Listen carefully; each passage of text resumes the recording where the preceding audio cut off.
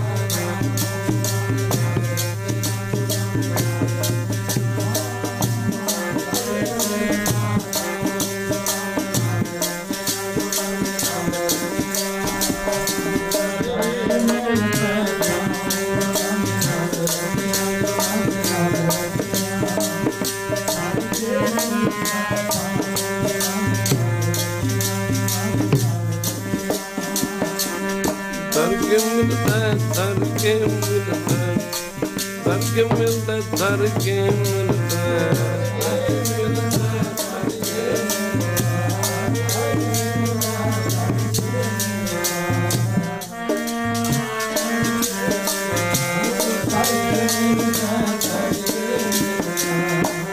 के मिलता है तन के मिलता है तन के मिलता है तन के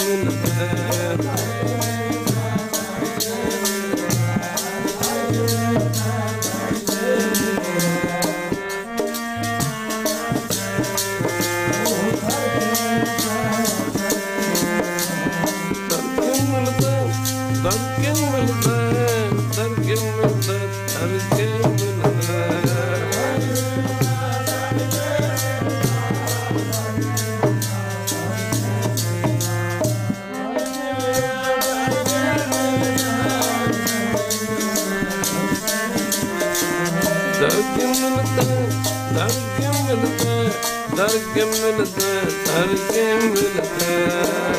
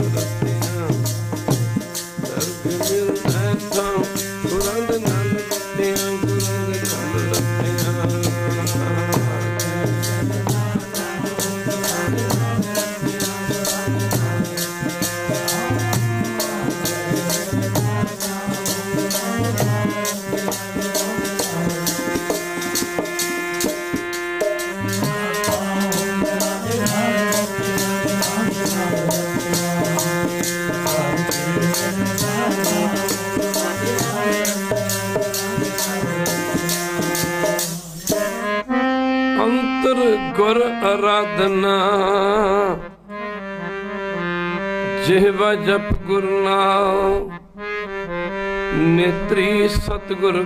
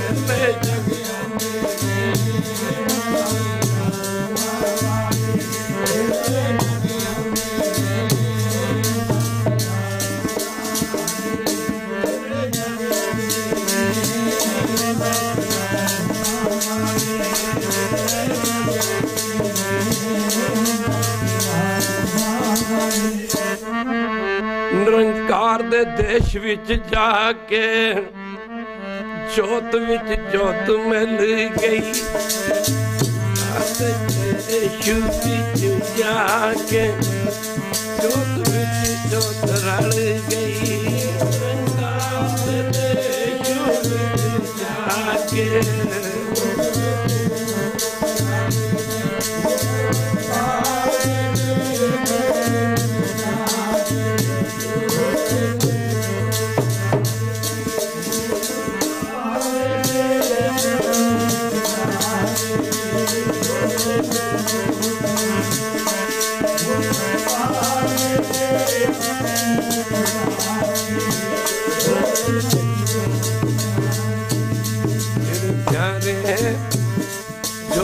ਜੋਤ ਰਲ ਗਈ ਜੀਵਾ ਭਾਵਾ ਜੋਤ ਵਿੱਚ ਜੋਤ ਮਿਲ ਗਈ।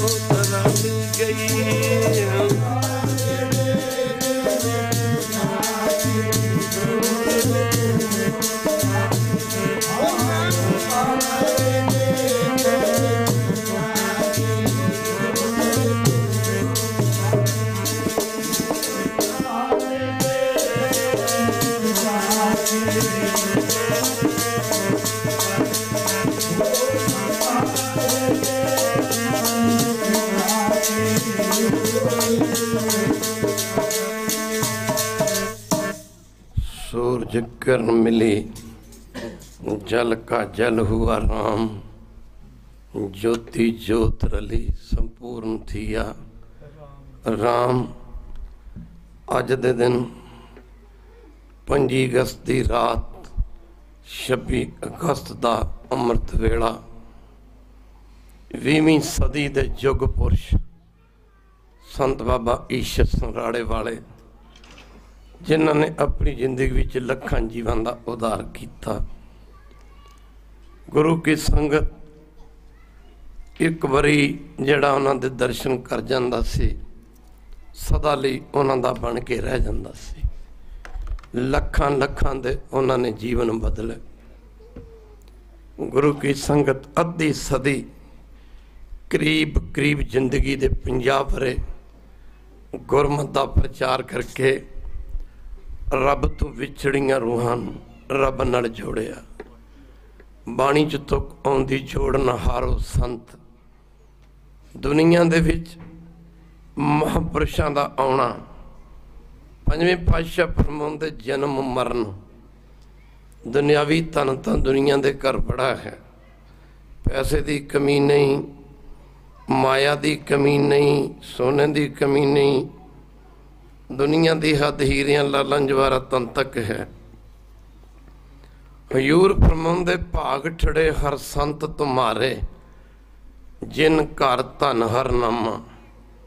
ਭਾਗੜੇ ਕਹਿੰਦੇ, ਭਾਗਾਂ ਵਾਲੇ ਭਾਗਠੜੇ ਕਹਿੰਦੇ ਸ਼ੌਕਾਰ ਸੇਠ ਮੀਰ। ਕਹਿੰਦੇ, ਤੇਰੇ ਪਿਆਰੇ, ਤੇਰੇ ਸੰਤ ਭਾਗਾਂ ਵਾਲੇ ਹਨ।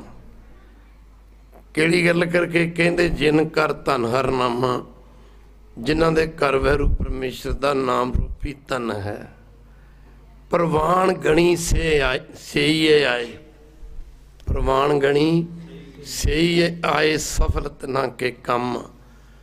ਉਹਨਾਂ ਦਾ ਦੁਨੀਆ ਤੇ ਆਉਣਾ ਪ੍ਰਵਾਨ ਹੈ। ਉਹਨਾਂ ਦੇ ਕੀਤੇ ਕੰਮ ਵੀ ਸਫਲੇ ਹਨ। ਮੇਰੇ RAM ਹਰ ਜਨ ਕੈ ਹੋਂ ਬਲ ਜਾਈ। ਕੇਸਾਂ ਕਾ ਕਰ ਚਬਰ ਢਲਾਵਾ, ਚਰਨ ਧੂੜ ਮੁਖ ਲਾਈ। ਪਾਸ਼ਾ ਫਰਮਾਉਂਦੇ ਜਨਮ ਮਰਨ। ਜੋ ਜੰਮਿਆ ਉਹ ਮਰੇਗਾ, ਜੋ ਆਇਆ ਉਹ ਜਾਏਗਾ, ਜੋ ਪੈਦਾ ਹੋਇਆ ਉਹਦਾ ਵਿਨਾਸ਼ ਹੈ, ਜੋ ਬਣਿਆ ਇੱਕ ਦਿਨ ਟੱਠਣਾ ਹੈ। ਪਰ ਪਾਤਸ਼ਾਹ ਨੇ ਗਿਣਤੀ ਕੀਤੀ ਕੀ ਦੇ ਵਿੱਚ ਕਹਿੰਦੇ ਜਨਮ ਮਰਨ। ਜਨਮ ਮਰਨ ਦੂਹੂ ਮੈਂ ਨਹੀਂ, ਨਾ ਜਨਮ ਚ, ਨਾ ਮਰਨ ਚ।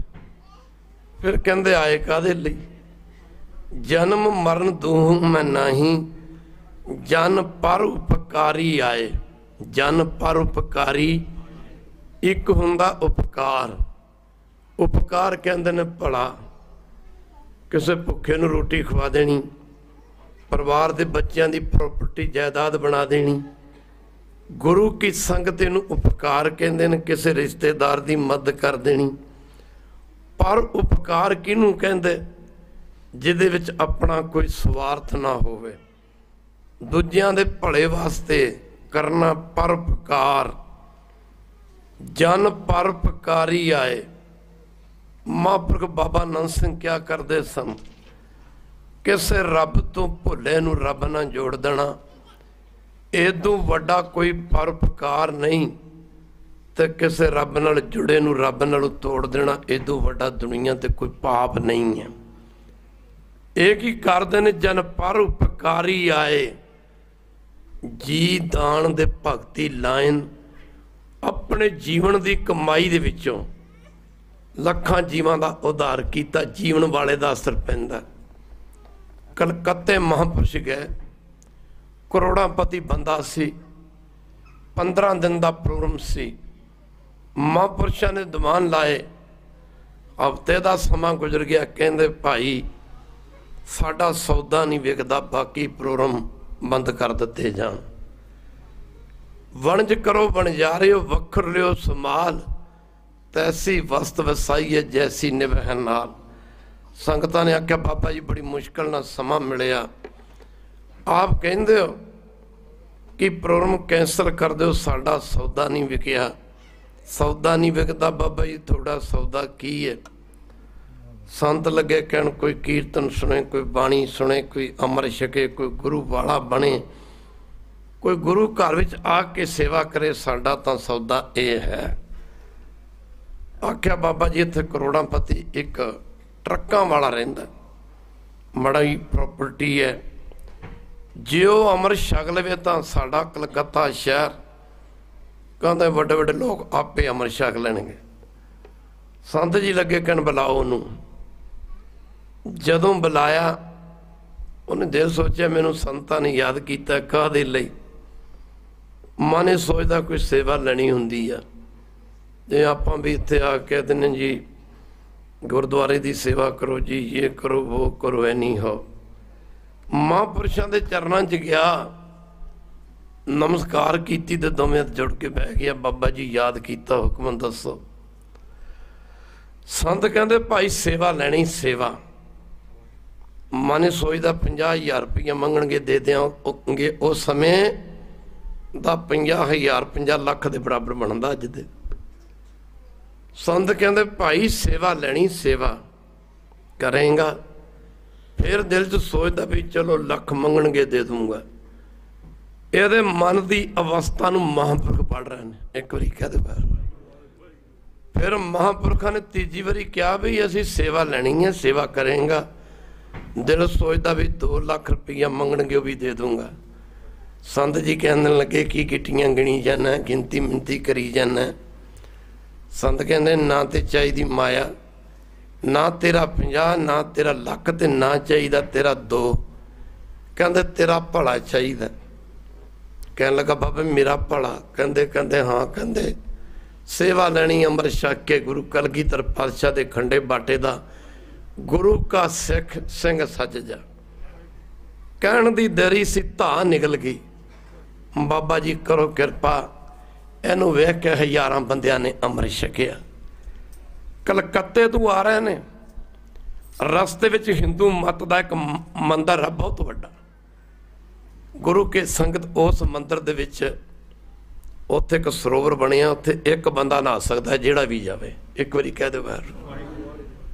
ਰਿੱਧੀਆਂ ਸਿੱਧੀਆਂ ਸ਼ਕਤੀਆਂ ਕਰਾਮਾਤਾਂ ਸੰਤ ਬਾਬਾ ਈਸ਼ਰ ਸੰਰਾੜੇ ਵਾਲਿਆਂ ਦਾ ਪਾਣੀ ਭਰਦੀਆਂ ਸਨ ਖਾਲਸਾ ਜੀ। ਕਈ ਗੱਲਾਂ ਕੀਰਤਨ ਦੇ ਵਿੱਚ ਕਰਨ ਵਾਲੀਆਂ ਨਹੀਂ। ਮੈਨੂੰ ਕਈਆਂ ਨੇ ਕਿਹਾ ਕਿ ਸੰਤ ਜੀ ਦੀ, ਜਿਹਦਾ ਕੋਈ ਬਚਨ ਸੁਣਾਓ, ਮਾਫ ਕਰਨਾ, ਮੈਂ ਕਿਹਾ ਸੁਣਾ ਤੇ ਦੇਈਏ, ਪਰ ਤੁਹਾਨੂੰ ਯਕੀਨ ਨਹੀਂ ਆਉਣਾ। ਤੁਹਾਡੀ ਸ਼ਰਧਾ ਨਹੀਂ ਵੱਜਣੀ। ਜੇ ਸ਼ਰਧਾ ਨਾ ਵੱਜੇ ਤੁਸੀਂ ਕਰਨਾ ਸ਼ੰਕਾ, ਜਿੱਥੇ ਆ ਜੇ ਸ਼ੰਕਾ, ਉੱਥੇ ਪਾਪ ਬਣ ਜਾਂਦਾ, ਜਿੱਥੇ ਸ਼ਰਧਾ ਆ ਜੇ, ਉੱਥੇ ਪਾਪਾਂ ਦਾ ਨਾਸ ਹੋ ਜਾਂਦਾ।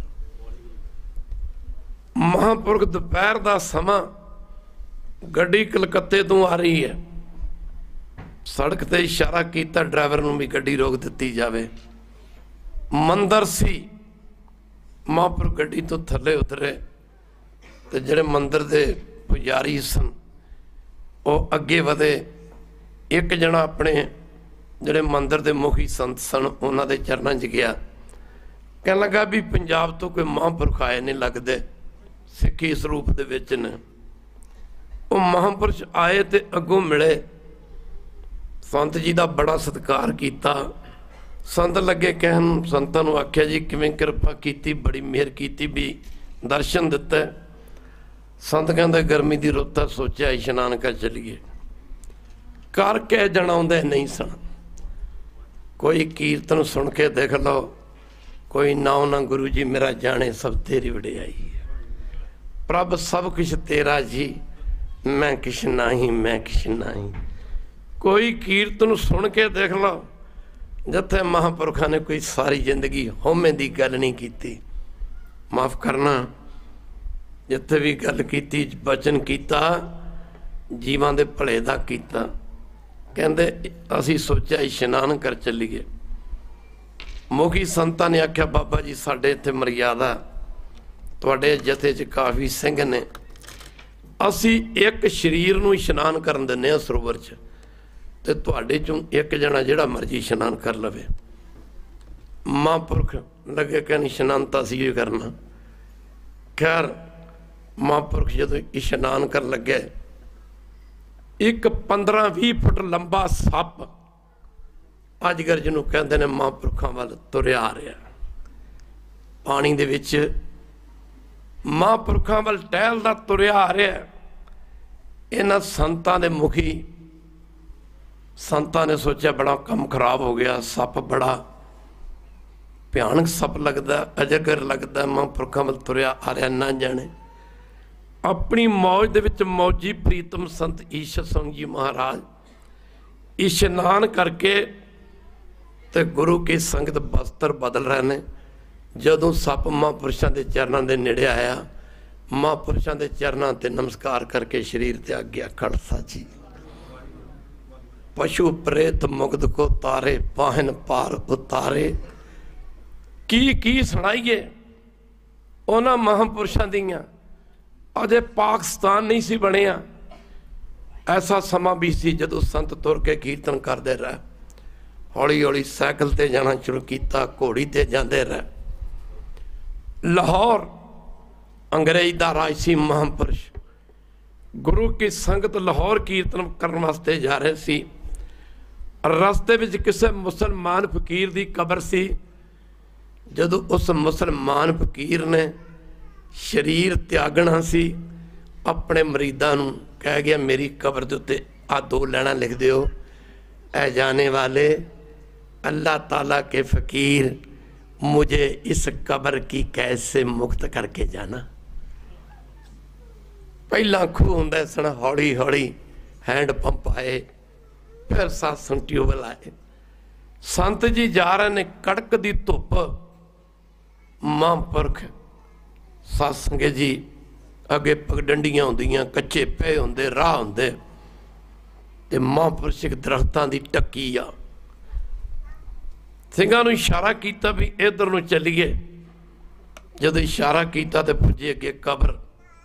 ਸੰਤ ਜੀ ਲੱਗੇ ਕਹਿਣ, ਭਾਈ, ਜਾਲਿਆ ਉਰਦੂ ਦੇ ਵਿੱਚ ਲਿਖਿਆ ਸੀ ਐ ਜਾਣੇ ਵਾਲੇ ਅੱਲਾਹ ਤਾਲਾ ਕੇ ਫਕੀਰ। ਸੰਤ ਜੀ ਉਰਦੂ ਜਾਣਦੇ ਸਨ। ਬੜੀ ਉਹਨਾਂ ਨੇ ਸ਼ਹਿਰੋ ਸ਼ੇਰ ਵੀ ਲਿਖੀ ਸਰੀਰ ਤਿਆਗਣ ਤੋਂ ਪਹਿਲਾਂ ਇੱਕ ਦਿਨ ਇੱਕ ਸ਼ੇਰ ਲਿਖਿਆ ਕਹਿੰਦੇ ਅਬ ਹਮਾਰੇ ਇਸ਼ਕ का ये हाल है अब हमारे इश्क का ये हाल है गुरु ग्रंथ साहब ने इशारा करके कहते उनको हम पे नाज है हमको उन पे नाज है उनको हम पे नाज है हमको उन पे नाज है ਗੁਰੂ ਕੀ ਸੰਗਤ ਸੰਤਾਂ ਨੇ ਚਰਨ ਪੰਜ ਇਸ਼ਨਾਨਾ ਕੀਤੀਆਂ ਤੇ ਮਹਾਂਪੁਰਖ ਉਸ ਕਬਰ ਤੇ ਨੇੜੇ ਪੁੱਜੇ ਜੋ ਫਕੀਰ ਦੀ ਸੀ, ਉਹਦੇ ਚੇਲੇ ਮਰੀਦ ਅੱਗੇ ਵਧੇ। ਕਹਿਣ ਲੱਗੇ, ਫਕੀਰ ਜੀ, ਆਪ ਕੀ ਦੇਖ ਰਹੇ ਹੋ? ਸੰਤ ਜੀ ਕਹਿੰਦੇ, ਮੈਂ ਪੜ ਰਿਹਾ ਆ ਜੋ ਲਿਖਿਆ ਕਹਿੰਦੇ, ਜੇ ਤੋ ਮਾਰੇ ਪੀਰ ਨੇ ਕਹਾ ਤਾਂ ਲਿਖਣਾ, ਕਿ ਜਾਂ ਇਹ ਲਿਖ ਦੇਣਾ? ਸੰਤ ਕਹਿੰਦੇ, ਹਾਂ। इसीलिए आए ਜਲ ਦੇ ਛਿੱਟੇ ਲੈ ਕੇ ਮਹਾਂਪੁਰਖਾਂ ਮਾਰੇ ਔਰ ਕਬਰ ਦੇ ਵਿੱਚੋਂ ਮੁਸਲਮਾਨ ਫਕੀਰ ਦੀ ਰੂਹ ਨਿਕਲ ਕੇ ਸੱਚਖੰਡ ਚਲੀ ਗਈ ਖਾਲਸਾ ਜੀ ਤੂੰ ਇੱਕ ਫੂਲ ਥਾ ਤੇਰੇ ਜਲਵੇ ਹਜ਼ਾਰ ਥੇ ਤੂੰ ਇੱਕ ਸਾਜ ਥਾ ਤੇਰੇ ਨਗਮੇ ਹਜ਼ਾਰ ਥੇ ਮਹਾਂਪੁਰਖ ਰਾੜੇ ਵਾਲੇ ਜਦੋਂ ਦਮਦਮੀ ਟਕਸਾਲ ਦੇ ਮੁਖੀ ਸੰਤ ਬਾਬਾ ਗੁਰਬਚਨ ਸਿੰਘ ਖਾਲਸਾ ਪਿੰਡਰਾਂ ਵਾਲੇ ਸੱਚਖੰਡ ਗਏ ਨੇ ਮਹਾਂਪੁਰਖ ਮੇਠ ਬੈਠੇ ਸਨ, ਕੁਰਸੀ ਲੱਗੀ ਸੀ, ਅੱਗੇ ਟੇਬਲ ਪਿਆ ਸੀ। ਮਾਫ ਮਾਫ ਕਰਨਾ, ਗੁਰੂ ਕੀ ਸੰਗਤ ਇੱਕ ਸੇਵਾਦਾਰ ਨੇ ਆਖਿਆ, ਬਾਬਾ ਜੀ, ਇੱਕ ਬੈਡ ਨਿਊਜ਼ ਆਈ ਹੈ ਪੰਜਾਬ ਤੋਂ। ਇੱਕ ਪੰਜਾਬ ਤੋਂ ਬੈਡ ਨਿਊਜ਼ ਆਈ ਆ। ਆਖਿਆ, ਕੀ? ਬੋਲ ਤੇ ਸਕਿਆ ਨਾ, ਅਖਬਾਰ ਅੱਗੇ ਕਰਤੀ, ਜਿਸ ਤੇ ਲਿਖਿਆ ਸੀ ਕਿ ਦਮਦਮੀ ਟਕਸਾਲ ਦੇ ਮੁਖੀ ਬ੍ਰਹਮ ਗਿਆਨੀ ਸੰਤ ਗੁਰਬਚਨ ਸਿੰਘ ਖਾਲਸਾ। ਪਿੰਡਰਾਂ ਵਾਲੇ ਚਲੇ ਗਏ ਨੇ। ਸੇਵਾਦਾਰ ਨੇ ਆਖਿਆ, ਬਾਬਾ ਜੀ, ਪਤਾ ਲੱਗਾ ਕਿ ਸੰਤ ਬਾਬਾ ਗੁਰਬਚਨ ਸਿੰਘ ਖਾਲਸਾ ਪਿੰਡਰਾਂ ਵਾਲਿਆਂ ਨੇ ਸਰੀਰ ਤਿਆਗਣ ਤੋਂ ਪਹਿਲਾਂ ਪਹਿਲਾਂ ਕਥਾ ਕੀਤੀ, ਕਥਾ ਤੇ ਕਥਾ ਕਰਨ ਤੋਂ ਬਾਅਦ ਫਿਰ ਸਰੀਰ ਛੱਡਿਆ। ਮਹਾਂਪੁਰਖਾਂ ਨੇ ਹੱਥ ਮਾਰਿਆ ਟੇਬਲ ਦੇ ਉੱਤੇ। ਉਹ ਇੱਕ ਪਿਆਰ ਦੀ ਮੂਰਤ ਸੀ। ਜਦੋਂ ਟੇਬਲ ਤੇ ਹੱਥ ਮਾਰਿਆ ਆਖਿਆ, ਵਾਹ ਮਹਾਂਪੁਰਖਾ, ਕਰਕੇ ਦਿਖਾਈ ਗਿਆ। ਵਾਹ ਮਹਾਂਪੁਰਖਾ ਵਾਹ ਮਹਾਂਪੁਰਖਾ, ਕਰਕੇ ਦਿਖਾਈ ਆ। ਸੰਗਤ ਨੇ ਆਖਿਆ, ਬਾਬਾ ਜੀ, ਤੁਸੀਂ ਟੇਬਲ ਤੇ ਹੱਥ ਮਾਰਿਆ। ਕਹਿੰਦੇ, ਪ੍ਰੇਮੀਓ, ਗੁਰੂ ਘਰ 'ਚ ਜੇ ਕੋਈ ਟੋਕਰੀ ਢੋਣ ਦੀ ਸੇਵਾ ਕਰਦਾ, ਕੋਈ ਭਾਂਡੇ ਮਾਂਜਣ ਦੀ ਸੇਵਾ ਕਰਦਾ, ਗੁਰੂ ਘਰ 'ਚ ਕੋਈ ਲੰਗਰ ਪਕਾਉਣ ਦੀ ਸੇਵਾ ਕਰਦਾ, ਗੁਰੂ ਘਰ 'ਚ ਕੋਈ ਝਾੜੂ ਦੇਣ ਦੀ ਸੇਵਾ ਕਰਦਾ ਗੁਰੂ ਘਰ 'ਚ ਕੋਈ ਕਥਾ ਕਰਦਾ, ਗੁਰੂ ਘਰ 'ਚ ਕਹਿੰਦੇ ਕੋਈ ਬਾਣੀ ਪੜਦਾ ਜਿਹੋ ਜੀ ਸੇਵਾ ਕਰਦਾ, ਕਹਿੰਦੇ ਨੇ ਜੇ ਸੇਵਾ ਕਰਦਾ ਚਲਾ ਜਾਏ, ਇਹ ਨਿਸ਼ਾਨੀ ਕੀ ਉਹ ਸੱਚਖੰਡ ਗਿਆ। ਕਹਿੰਦੇ ਸੰਤ ਬਾਬਾ ਗੁਰਬਚਨ ਸਿੰਘ ਖਾਲਸਾ ਪਿੰਡਰਾਂ ਵਾਲੇ ਕਥਾ ਕਰਦੇ ਕੀਰਤਨ, ਕਥਾ ਕਰਦੇ ਸੱਚਖੰਡ ਗਏ ਨੇ, ਕਥਾ ਕਰਦੇ ਗਏ ਨੇ, ਸਰੀਰ ਵੱਲ ਇਸ਼ਾਰਾ ਕਰਦੇ, ਕਹਿੰਦੇ ਜਦ ਇਹ ਸਰੀਰ ਜਾਏਗਾ ਇਹ ਕੀਰਤਨ ਕਰਦਾ ਜਾਏਗਾ ਖਾਲਸਾ ਜੀ। 25 ਅਗਸਤ ਦੀ ਰਾਤ ਨੂੰ ਕੀਰਤਨ ਕਰਨਾ ਤੇ ਕੀਰਤਨ ਦੇ ਵਿੱਚ ਇਸ਼ਾਰਾ ਕਰ ਦੇਣਾ ਕਿ ਤੁਹਾਡਾ ਕੱਲ ਦਾ ਕੀਰਤਨ ਬਾਕੀ ਰਹਿ ਗਿਆ। ਇੱਕ ਵਾਰੀ ਕਹਿ ਦਿਓ ਬਾਹਰੋਂ ਮਾਫ ਕਰਨਾ, ਉਹ ਮਹਾਂਪੁਰਖ ਸੰਤ ਬਾਬਾ ਈਸ਼ਰ ਸਿੰਘ ਰਾੜੇ ਵਾਲੇ। ਇੱਕ ਮਾਈ ਨੇ ਬੇਨਤੀ ਕੀਤੀ, ਬਾਬਾ ਜੀ ਬਾਬਾ ਜੀ ਪਾਠ ਨਹੀਂ ਆਉਂਦਾ, ਬਾਣੀ ਪੜ੍ਹਨੀ ਨਹੀਂ ਆਉਂਦੀ, ਬਾਬਾ ਜੀ ਕੀ ਕਰਾਂ ਕੁਝ ਨਹੀਂ ਆਉਂਦਾ। ਸੰਤ ਕਹਿੰਦੇ ਹੱਥ ਤਾਂ ਹੈਗਾ ਨੇ, ਇੱਕ ਵਾਰੀ ਕਹਿ ਦਿਓ ਬਾਹਰੂ ਕਹਿੰਦਾ ਸੇਵਾ ਕਰਿਆ ਕਰ, ਸੇਵਾ ਕਰਿਆ ਕਰ। ਆਖਿਆ, ਬਾਬਾ ਜੀ ਹੁਕਮ, ਕਹਿੰਦੇ ਲੰਗਰ ਦੇ ਭਾਂਡੇ ਮਾਂਜਿਆ ਕਰ। ਜਾ ਮਾਤਾ, ਤੇਰਾ ਭਲਾ ਹੋ ਜਾਏਗਾ। 20 ਸਾਲ ਰਾੜਾ ਸਾਹਿਬ ਤੋਂ 9 ਕਿਲੋਮੀਟਰ ਦੀ ਦੂਰੀ ਤੇ ਵਸਦਾ ਪਿੰਡ ਮਾਈ ਨੇ ਅੰਮ੍ਰਿਤ ਵੇਲੇ ਉੱਠਣਾ, ਇਸ਼ਨਾਨ ਕਰਨਾ ਤੇ ਨੰਗੇ ਪੈਰੀ ਚੱਲ ਕੇ ਆਉਣਾ। ਬੜੀ ਸ਼ਰਧਾ ਸੀ। ਖੈਰ, ਅੱਜ ਵੀ ਜਿਹੜੇ ਲੋਕ ਰਾੜਾ ਸਾਹਿਬ ਦੇ ਨੇੜੇ ਵਸਦੇ ਨੇ। ਮੁੱਖ ਦੀ ਗੱਲ ਕੀ, ਅੱਜ ਵੀ ਬੀਬੀਆਂ, ਭੈਣਾਂ, ਮਾਵਾਂ ਉਸ ਇਲਾਕੇ ਦੇ ਲੋਕ ਅੱਜ ਵੀ ਅੰਮ੍ਰਿਤ ਵੇਲੇ ਨੰਗੇ ਪੈਰੀ ਚੱਲ ਕੇ ਜਾਂਦੇ ਨੇ। ਸ਼ਹੀਦਾਂ ਦੀ ਧਰਤੀ, ਫਤਿਹਗੜ੍ਹ ਸਾਹਿਬ। ਮਾਫ ਕਰਨਾ ਖਾਲਸਾ ਜੀ। ਮਾਫ ਕਰਨਾ, ਜਰਾ ਧਿਆਨ ਦੇਣਾ ਪਵੇਗਾ। ਸਿੱਖੀ ਸਦਕ ਨਿਭਾਉਣ ਦੀ ਰੀਤ ਔਖੀ। ਇਹ ਤਾਂ ਕੱਚੀ ਹੈ ਧਾਗੇ ਦੀ ਤੰਦ ਸੰਗਤ ਜਿਵੇਂ ਮੱਕੇ ਦੀ ਹੱਦ ਸੀ ਮੌਮਣਾ ਲਈ ਐਵੇਂ ਸਿੱਖੀ ਦੀ ਹੱਦ ਸਰਹੰਦ ਸੰਗਤ ਉਸ ਕੰਧ ਦੀ ਸ਼ਾਨ ਸਵਰਗ ਬਣ ਗਈ, ਜਿੱਥੇ ਚਿਣੇ ਗਏ ਗੋਬੰਦ ਦੇ ਚੰਦ ਸੰਗਤ ਆ ਮਾਤਾ ਤੇਰੇ ਆ ਮਾਫ ਕਰਨਾ ਆ ਮਾਤਾ ਤੇਰਿਆਂ ਲਾਲਾਂ ਤੂੰ ਪੰਥ ਵਾਰਾਂ, ਜਿੱਥੋਂ ਚੱਲਿਆ ਜਥਾ ਨਿਹੰਗ ਸੰਗਤ ਮਾਫ ਕਰਨਾ ਨਿਹੰਗ ਜਥੇਬੰਦੀ, ਬਾਬਾ ਫਤਿਹ ਸਿੰਘ ਤੋਂ ਚੱਲੀ ਸੀ ਖਾਲਸਾ ਜੀ, ਕਿਤੇ ਮੌਕਾ ਬਣਿਆ। ਫਿਰ ਵਿਚਾਰ ਕਰਾਂਗੇ। ਅਸੀਂ ਸੋ ਮੈਨੀ ਟਾਈਮ ਜਦੋਂ ਅਸੀਂ ਦੀਵਾਨ ਲਾ ਕੇ ਆਉਂਦੇ ਹਾਂ, ਉਸ ਇਲਾਕੇ 'ਚ ਨਵਾਂ ਸ਼ਹਿਰ ਅੱਗੇ ਜਲੰਧਰ, ਅੰਮ੍ਰਿਤ ਵੇਲੇ ਅੱਜ ਵੀ ਉਸ ਸ਼ਹੀਦਾਂ ਦੀ ਧਰਤੀ ਤੇ ਧੀਆਂ, ਭੈਣਾਂ, ਮਾਵਾਂ, ਮੁਟਿਆਰਾਂ, ਮਾਈ, ਭਾਈ 10 10 20 20 ਦਾ ਜਥਾ ਬਣ ਕੇ ਫਤਿਹਗੜ੍ਹ ਸਾਹਿਬ ਜਾ ਕੇ ਨਮਸਕਾਰ ਕਰਕੇ ਫਿਰ ਰੋਟੀ ਖਾਂਦੇ ਆ, ਘਰ ਆ ਕੇ। ਸ਼ਰਧਾ ਨੂੰ ਭਗਤੀ ਦੀ ਮਾਂ ਮੰਨਿਆ। ਸਿੱਖੀ ਦਾ ਊੜਾ। ਸਿੱਖੀ ਦਾ ਸਿੱਖੀ ਦਾ ਊੜਾ। ਜਿਵੇਂ ਅੰਗਰੇਜ਼ੀ ਦੇ ਸ਼ਬਦਾਂ ਦੇ alpha beta A B C ਤੋਂ ਸ਼ੁਰੂ ਹੁੰਦੇ ਨੇ। ਸਿੱਖੀ ਮੁਹਾਰਨੀ ਪੰਜਾਬੀ ਦੀ ਊੜੇ ਐੜੇ ਤੋਂ ਸ਼ੁਰੂ ਹੁੰਦੀ ਹੈ। ਸਿੱਖੀ ਦਾ ਊੜਾ ਸੇਵਾ ਤੋਂ ਸ਼ੁਰੂ ਹੁੰਦਾ, ਖਾਲਸਾ ਜੀ। ਬਾਬੇ ਨਾਨਕ ਨੇ ਆਖਿਆ ਵਿੱਚ ਦੁਨੀਆ ਸੇਵ ਸੇਵ ਕੀਤੀ ਸੰਤੋਖੀ ਹੀ ਜਿਨ ਸੱਚੋ ਸੱਚ ਤੇ ਆਇਆ। ਉਹਨੀ ਮੰਦੇ ਪੈਰ ਨਾ ਰੱਖਿਓ, ਉਹਨ ਘਰ ਸੁਕਰਤ ਧਰਮ ਕਮਾਇਆ। ਉਹਨੀ ਦੁਨੀਆ ਤੋੜੇ ਬੰਦਣਾ, ਅਨ ਪਾਣੀ ਥੋੜਾ ਖਾਇਆ। ਕਿੰਨਿਆਂ ਕਿੰਨਿਆਂ ਦਾ ਭਲਾ ਕਰ ਗਿਆ। ਗੱਲਾਂ ਤੇ ਕਹਿਣ ਕਥਨ ਤੋਂ ਬਾਹਰ ਨੇ। ਇੱਕ ਪਟਿਆਲੇ ਦੀ ਸੈਸ਼ਨ ਜੱਜ ਸੀ। ਇਹ ਤਾਂ ਮੇਰੇ ਅੱਖੀ ਵੇਖੀ ਗੱਲ ਆ। ਮੇਰੇ ਤੋਂ ਵੀ ਉਸ ਮਾਤਾ ਦਾ ਸਰੀਰ ਲੰਬਾ ਸੀ। ਉਹਨੇ ਪਹਿਲੀਆਂ ਜਿੱਥੇ ਪਾਣੀ ਬੜਾ ਹੁੰਦਾ ਸੀ। ਫਿਰ ਸਮਾਂ ਪਾ ਕੇ ਸੜਕਾਂ ਬਣ ਗਈਆਂ, ਪੁਲ ਵੱਜ ਗਿਆ। ਖੈਰ, ਇਹ ਮਾਈ ਪਹਿਲੀਆਂ ਦੇ ਵਿੱਚ ਆਟੇ ਦੀ ਪੂਰੀ ਚੱਕਣੀ ਤੇ ਉਥੋਂ 9 ਕਿਲੋਮੀਟਰ ਪੈਂਦਾ ਜਾ ਕੇ ਲੰਗਰ ਸੱਟਣੀ। ਫਿਰ ਸਮਾਂ ਬਦਲਿਆ। ਕਾਜੂ, ਬਦਾਮ ਪਿਸਤੇ ਲੈ ਕੇ ਜਾ ਕੇ ਸੇਵਾਦਾਰ ਨੂੰ ਕਹਿਣਾ ਛਕ ਲਓ ਜੀ, ਤੁਸੀਂ ਪਾਠ ਕਰਦੇ ਹੋ, ਜੇ ਹੈ ਉਹ ਜੋ ਵੀ ਹੈ।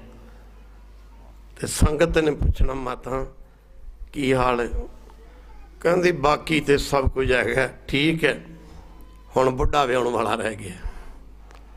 ਬੁੱਢਾ ਵਿਆਹਣ ਵਾਲਾ ਰਹਿ ਗਿਆ। ਸੰਗਤ ਨੇ ਹੈਰਾਨ ਹੋਣਾ ਵੀ ਇਹ ਕੀ ਗੱਲ ਕਰਦੀ ਹੈ ਵੀ ਬੁੱਢਾ ਵਿਆਹਣ ਵਾਲਾ ਰਹਿ ਗਿਆ। ਇੱਕ ਦਿਨ ਮਾਂ ਪੁਰਖਾਂ ਦੇ ਕੋਲ ਬੇਨਤੀ ਕੀਤੀ, ਬਾਬਾ ਜੀ ਮਾਤਾ ਹੁੰਦੀ ਇਹ ਗੱਲ ਕਹਿੰਦੀ, ਜੋ ਬੁਲਾਇਆ ਸੰਤ ਜੀ ਮਹਾਰਾਜ, ਜ਼ਬਾਨ ਦੇ ਵਿੱਚੋਂ ਫੁੱਲ ਡਿੱਗਦੇ ਸਨ ਕਰਦੇ ਸਨ। ਕਿ ਮਾਤਾ, ਇਹ ਕੀ ਗੱਲ ਕਹਿੰਦੀ ਹੈ ਕਹਿੰਦੀ, ਬਾਬਾ ਜੀ, ਮੈਂ ਇਹਨਾਂ ਨੂੰ ਕਹਿੰਦੀ ਹਾਂ ਬਾਕੀ ਕੰਮ ਕਰਦਾ ਕਰ ਲੈ। ਆੜਾ ਸ਼ਰੀਰ ਹੈ ਨਾ, ਇਹ ਰੱਬ ਦੇ ਲੇਖੇ ਲੱਗ ਜੇ, ਇਹ ਲੇਖੇ ਲਾਉਣਾ ਰਹਿ ਗਿਆ ਬਾਕੀ। ਬਾ, ਇਹ ਉਹ ਲੋਕਾਂ ਨੇ ਫਾਇਦਾ ਉਠਾਇਆ। ਜਦੋਂ ਇੰਗਲੈਂਡ ਨੂੰ ਆਉਣਾ ਸੀ, ਮਾਡਲ ਟਾਊਨ ਪਟਿਆਲੇ ਦੇ ਵਿੱਚ ਇੱਕ ਮਾਈ, ਇੱਕ ਮਾਤਾ, ਜਿਹਨੇ ਬ੍ਰਹਮ ਗਿਆਨੀ ਸੰਤ ਬਾਬਾ ਗੁਰਬਚਨ ਸਿੰਘ ਦੀ ਸੇਵਾ ਕੀਤੀ। ਮਾਫ ਕਰਨਾ ਕਬੀਰ ਸੇਵਾ ਕੋ ਦੋ ਭਲੇ, ਇੱਕ ਸੰਤ, ਇੱਕ ਰਾਮ। ਰਾਮ ਜੋ ਦਾਤਾ ਮੁਕਤ ਕੋ ਸੰਤ ਜ ਨਾਮ।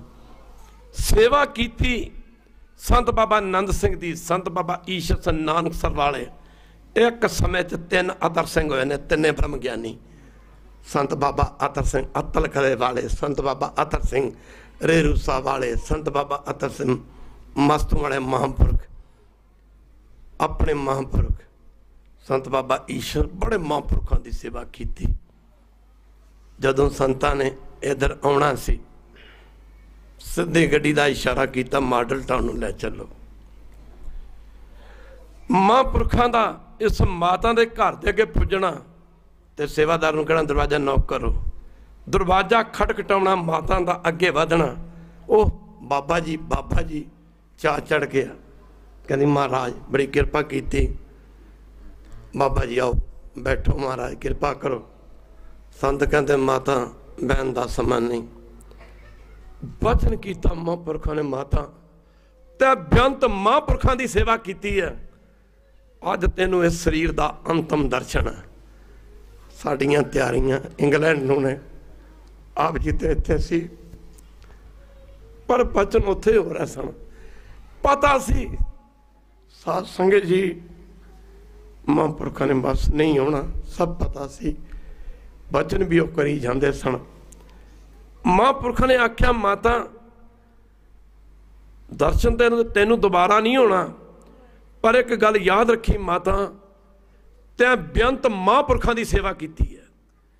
ਪਰ ਯਾਦ ਰੱਖਣਾ ਮਾਤਾ, ਦੀਵਾ ਵੀ ਤਿਆਰ ਹੈ।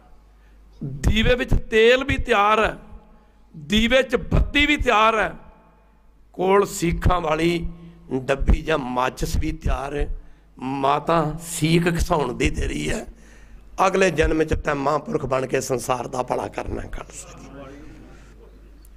ਗੁਰੂ ਕੀ ਸੰਗਤ ਸੇਵਾ ਤੇ ਬੜਾ ਜ਼ੋਰ ਦਿੰਦੇ ਸਨ। ਕੋਕੋ ਕੋਲੋ ਕੋਲਾ ਏਜੰਸੀ ਦਿੱਲੀ ਵਾਲੇ ਦਲਜੀਤ ਸਿੰਘ ਚਰਨਜੀਤ ਸਿੰਘ ਹੋਰੀ ਇੱਕ ਭਰਾ ਦੇ ਲਾਤ ਸੀ, ਇੱਕ ਦੇ ਲਾਤ ਨਹੀਂ ਸੀ। ਉਹਨਾਂ ਅਮੀਰਾਂ ਦੇ ਆਪਾਂ ਜਾਣਦੇ ਹੀ ਆ ਮੇਰੀ ਆਪਣੀ ਜ਼ਿੰਦਗੀ 'ਚ ਵੇਖੀ ਇੱਕ ਬਹੁਤ ਵੱਡੀ ਗੱਲ ਹੈ। ਸੰਤ ਜੀ ਸਭ ਤੋਂ ਜ਼ਿਆਦਾ ਖੁਸ਼ ਉਹਦੇ ਤੇ ਹੁੰਦੇ ਸੀ, ਜਿਹੜਾ ਹੱਥੀ ਸੇਵਾ ਕਰਦਾ ਸੀ। ਜਿਹੜਾ ਹੱਥੀ ਸੇਵਾ ਕਰਦਾ ਸੀ, ਉਹਦੇ ਤੇ ਮਹਾਂਪੁਰਸ਼ਾਂ ਦੀ ਖੁਸ਼ੀ ਬਹੁਤ ਹੁੰਦੀ ਸੀ। ਸੰਗਤ ਨੇ ਬੇਨਤੀ ਕੀਤੀ ਕਿ ਬਹਿਰੇ ਪੂਰੇ ਸੇਵਾ ਕਰ ਰਹੇ ਸਨ, ਟੋਪੀਆਂ ਟਾਪੀਆਂ ਨਾ ਪਾਈਆਂ ਖੈਰ ਮੀਰ ਬੰਦੇ ਸਨ। ਸੰਗਤ ਨੇ ਬੇਨਤੀ ਕੀਤੀ, ਬਾਬਾ ਜੀ ਆ ਚਰਨਜੀਤ ਸਿੰਘ ਦੇ ਲਾ ਦਲਜੀਤ ਸਿੰਘ ਦੇ ਲਾਦ ਹੈ, ਆ ਦੂਸਰੇ ਚਰਨਜੀਤ ਸਿੰਘ ਦੇ ਲਾਦ ਨਹੀਂ। ਕਿਰਪਾ ਕਰੋ ਚਰਨਜੀਤ ਸਿੰਘ ਨੂੰ ਪੁੱਤਰ ਦੀ ਦਾਤ ਬਖਸ਼ੋ ਸੰਤ ਚੁੱਪ ਰਹਿ। ਫਿਰ ਦੂਜੀ ਵਾਰੀ ਕਿਹਾ, ਜੋ ਤੀਜੀ ਵਾਰੀ ਕਿਹਾ, ਕਹਿੰਦਾ ਗੁਰੂ ਨਾਨਕ ਦੀ ਇਹ ਸੰਗਤ ਹੈ, ਇਹਨਾਂ ਦੇ ਇਹਨਾਂ ਬਹਿਰਿਆਂ ਦੇ ਤੇ ਪੁੱਤਰ ਹੋ ਸਕਦੇ ਨੇ, ਪਰ ਇਹਨਾਂ ਦੇ ਪੁੱਤਰ ਨਹੀਂ ਹੋ ਸਕਦਾ। ਕਹਿੰਦੇ ਨੇ ਸੇਵਾ ਕਰਦੇ ਨੇ, ਸੰਗਤ ਦੀ ਸੇਵਾ ਇਹ ਹੱਥੀ ਨਹੀਂ ਕਰਦੇ। ਇਹ ਸੰਗਤ ਦੀ ਸੇਵਾ ਹੱਥੀ ਨਹੀਂ ਕਰਦੇ। ਵਿੱਚ ਦੁਨੀਆ ਸੇਵਕ ਮਾਈ ਹੈ, ਤਾਂ ਦਰਗੇ ਬੈਸਣ ਪਾਈ ਹੈ, ਮਹਾਂਪੁਰਖ ਰਾੜੇ ਵਾਲੇ। 20 ਸਾਲ ਬੀਤ ਗਿਆ ਮਾਈ ਨੂੰ, ਲੰਗਰ ਵਿੱਚ ਸੇਵਾ ਕਰਦੀ ਨੂੰ, ਕਿੰਨੀਆਂ ਕੁ ਸੁਣਾਈਏ ਕਈ ਕਈ ਗੱਲਾਂ ਤੇ ਮਹਾਂਪੁਰਖਾਂ ਦੀਆਂ ਬਿਆਨ ਹੀ ਨਹੀਂ ਕੀਤੀਆਂ ਜਾ ਸਕਦੀਆਂ।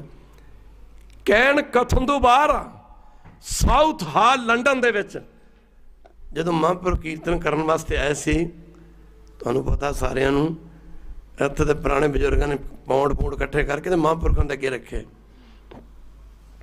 ਸੰਤ ਕਹਿੰਦੇ, ਕੀ ਆ? ਇੱਕ ਵਾਰੀ ਕਹਦੇ ਬਾਹਰ। ਕਹਿੰਦੇ, ਬਾਬੇ ਮਾਇਆ। ਕਹਿੰਦੇ ਕਾਦੇ ਵਾਸਤੇ? ਕਹਿੰਦੇ, ਰਾੜਾ ਸਾਹਿਬ ਦੇ ਲੰਗਰਾਂ ਵਾਸਤੇ। ਸੰਤ ਕਹਿੰਦੇ, ਲੰਗਰ ਕਹਿੰਦੇ ਨੇ, ਇੰਗਲੈਂਡ ਦੀ ਮਾਇਆ ਨਾਲ ਚੱਲਦੇ ਨੇ। ਲੰਗਰ ਕਹਿੰਦੇ, ਇੰਗਲੈਂਡ ਦੀ ਮਾਇਆ ਨਾਲ ਚੜ੍ਹ- ਚੱਲਦੇ ਨੇ। ਉੱਥੇ ਗੁਰੂ ਨਾਨਕ ਦਾ ਲੰਗਰ ਹੈ। ਜਿਹਦਾ ਲੰਗਰ ਆਪੇ ਚਲਾ ਰਿਹਾ ਹੈ। ਕਈ ਕੇ ਬਚਨ ਕਰਨ ਵਾਲੇ ਨਹੀਂ ਸਾਧ ਸੰਗਤ ਜੀ। ਮੁੱਕ ਦੀ ਗੱਲ ਕੀ ਮਹਾਤਮਾ ਕਹਿੰਦੇ, ਇੱਥੇ ਖਰਚ ਕਰ ਦਿਓ ਜੇ। ਮੈਂ ਉਧਰ ਨਾ ਜਾਵਾਂ। ਜਦੋਂ ਕੋਈ ਸਮਾਂ ਬਣਿਆ ਤੇ ਸੁਣਾਵਾਂਗੇ। ਕਿਉਂਕਿ ਤੁਹਾਨੂੰ ਯਕੀਨ ਨਹੀਂ ਆਉਣਾ। ਇੱਕ ਵਾਰੀ ਕਹਿ ਦਿਓ ਫਿਰ। ਕਰਮਾ ਪੁਰਖ ਉਹ ਮਾਈ ਅਜ ਲੰਗਰ 'ਚ 20 ਸਾਲ ਸੇਵਾ ਕਰਦੇ ਗੁਜ਼ਰ ਗਏ ਨਾਲ ਦੀਆਂ ਮਾਈਆਂ ਨਾਲ ਗੱਲ ਕਰਦੀ ਹੈ, ਬੀਬੀਆਂ ਨਾਲ। ਸੰਤਾਂ ਨੇ ਆਖਿਆ ਸੀ, ਸੇਵਾ ਕਰਿਆ ਕਰ। ਸੇਵਾ ਕਰਿਆ ਕਰ, ਲੰਗਰ ਦੇ ਭਾਂਡੇ ਮਾਂਜਿਆ ਕਰ। ਕੀ ਕਰਾਂ ਹੁਣ ਤੇ ਤੁਰਿਆ ਵੀ ਨਹੀਂ ਜਾਂਦਾ। ਸੰਤ ਜੀ ਦੀ ਕੁਰਸੀ ਲੱਗੀ ਹੈ। ਸੰਗਤ ਬਚਨ ਬਲਾਸ ਕਰ ਰਹੇ ਨੇ। ਕਹਿੰਦੀ, ਹੁਣ ਤੁਰਿਆ ਵੀ ਨਹੀਂ ਜਾਂਦਾ। ਮਹਾਂਪੁਰਖਾਂ ਨੇ ਆਖਿਆ ਸੀ, ਸੇਵਾ ਨਾ ਛੱਡੀ। ਗੋਡੇ ਨਹੀਂ ਕੰਮ ਕਰਦੇ। ਪੀੜੇ ਤੇ ਬੈਠੀ, ਲੰਗਰ ਦੇ ਵਿੱਚ ਭਾਂਡੇ ਮਾਂਜ ਰਹੀ। ਸੰਤ ਜੀ ਕੁਰਸੀ ਤੋਂ ਉੱਠਿਆ ਛੜੀ ਫੜੀ ਤੇ ਮਾਈ ਦੇ ਸਿਰ ਤੇ ਠੋਲਾ ਮਾਰਦੇ। ਕਹਿੰਦੇ, ਮਾਤਾ, ਮਾਫ ਕਰਨਾ। ਸੰਤਾਂ ਨੇ ਕਿਹਾ ਸੀ ਕਿ ਭਾਂਡੇ ਮਾਂਜਿਆ ਕਰ। ਹੁਣ ਤੇ ਤੁਰਿਆ ਵੀ ਨਹੀਂ ਜਾਂਦਾ, ਹੁਣ ਤਾਂ ਗੋਡੇ ਵੀ ਜਵਾਬ ਦੇ ਗਏ। ਮਾਫ ਕਰਨਾ। ਤਦੇ ਕਿਹਾ ਨਾ ਗੁਰ ਪੀਰਾਂ ਕੀ ਚਾਕਰੀ ਮਹਾ ਕਰੜੀ ਸੁਖ ਸਾਰ ਸੰਤ ਕਹਿੰਦੇ, ਮਾਤਾ, ਸੁਣ ਸੁਣ ਕਹਿੰਦੇ, ਤੇਰੀ ਇੰਨੀ ਤਪੱਸਿਆ ਹੋ ਚੁੱਕੀ ਹੈ। ਗੁਰੂ ਘਰ ਦੇ ਵਿੱਚ ਜਿਹੜੀ ਤਪੱਸਿਆ ਹੈ ਨਾ, ਗੁਰ ਸੇਵਾ, ਤਪਾਂ ਸਿਰ, ਤਪ ਸਾਰ। ਸਾਰੇ ਸਾਰੇ ਪੜੋ ਗੁਰ ਸੇਵਾ, ਤਪਾਂ ਸਿਰ, ਤਪ ਸਾਰ। ਤਪਾਂ ਸਿਰ, ਤਪ, ਇਹ ਸਾਰਿਆਂ ਹੀ ਤਪਾਂ ਦੇ ਨਾਲੋਂ ਵੱਡਾ ਤਪ ਹੈ ਗੁਰੂ ਘਰ ਦੀ ਸੇਵਾ।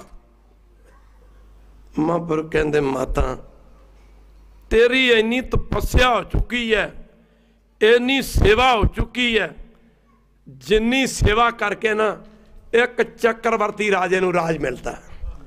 ਇੱਕ ਚੱਕਰਵਰਤੀ ਔਰ ਰਾਜੇ ਨੂੰ ਰਾਜ ਮਿਲਦਾ। ਇੰਜ ਕਰ ਮਾਤਾ, ਜਾਂ ਰਾਜ ਮੰਗ ਲਾ ਤੇ ਜਾਂ ਮੁਕਤੀ ਮੰਗ ਲਾ, ਅੱਜ ਤੂੰ ਸਤਵੇਂ ਨੂੰ ਤਾਂ ਚੜਾਈ ਕਰ ਜਾਣੀ ਹੈ ਮਾਈ ਨੇ ਆਖਿਆ, ਮਹਾਰਾਜ, ਮੈਂ ਰਾਜ ਕੀ ਕਰਨਾ? ਆਹ ਰੋਜ਼ ਹੀ ਪੜਦੇ ਹੋ। ਜੀ ਮੈਂ ਰਾਜ ਮੁਕਤ ਨਹੀਂ ਮੰਗਦਾ ਪ੍ਰੀਤੀ ਤੇਰੇ ਚਰਨਾਂ ਦੀ। ਬਾਬਾ ਜੀ ਕਿਰਪਾ ਕਰੋ, ਹੁਣ ਤਾਂ ਮੁਕਤੀ ਦੀ ਖੈਰ ਪਾ ਦਿਓ। ਆਖਿਆ ਜਾ ਮੁਕਤ ਹੋ ਜਾਏਗੀ। ਖੈਰ ਗੁਰੂ ਕੀ ਸੰਗਤ, ਕਿੰਨੀਆਂ ਕਿ ਸੁਣਾਈਏ। ਗੱਲਾਂ ਕਹਿਣ ਤੋਂ ਬਾਹਰ ਨੇ।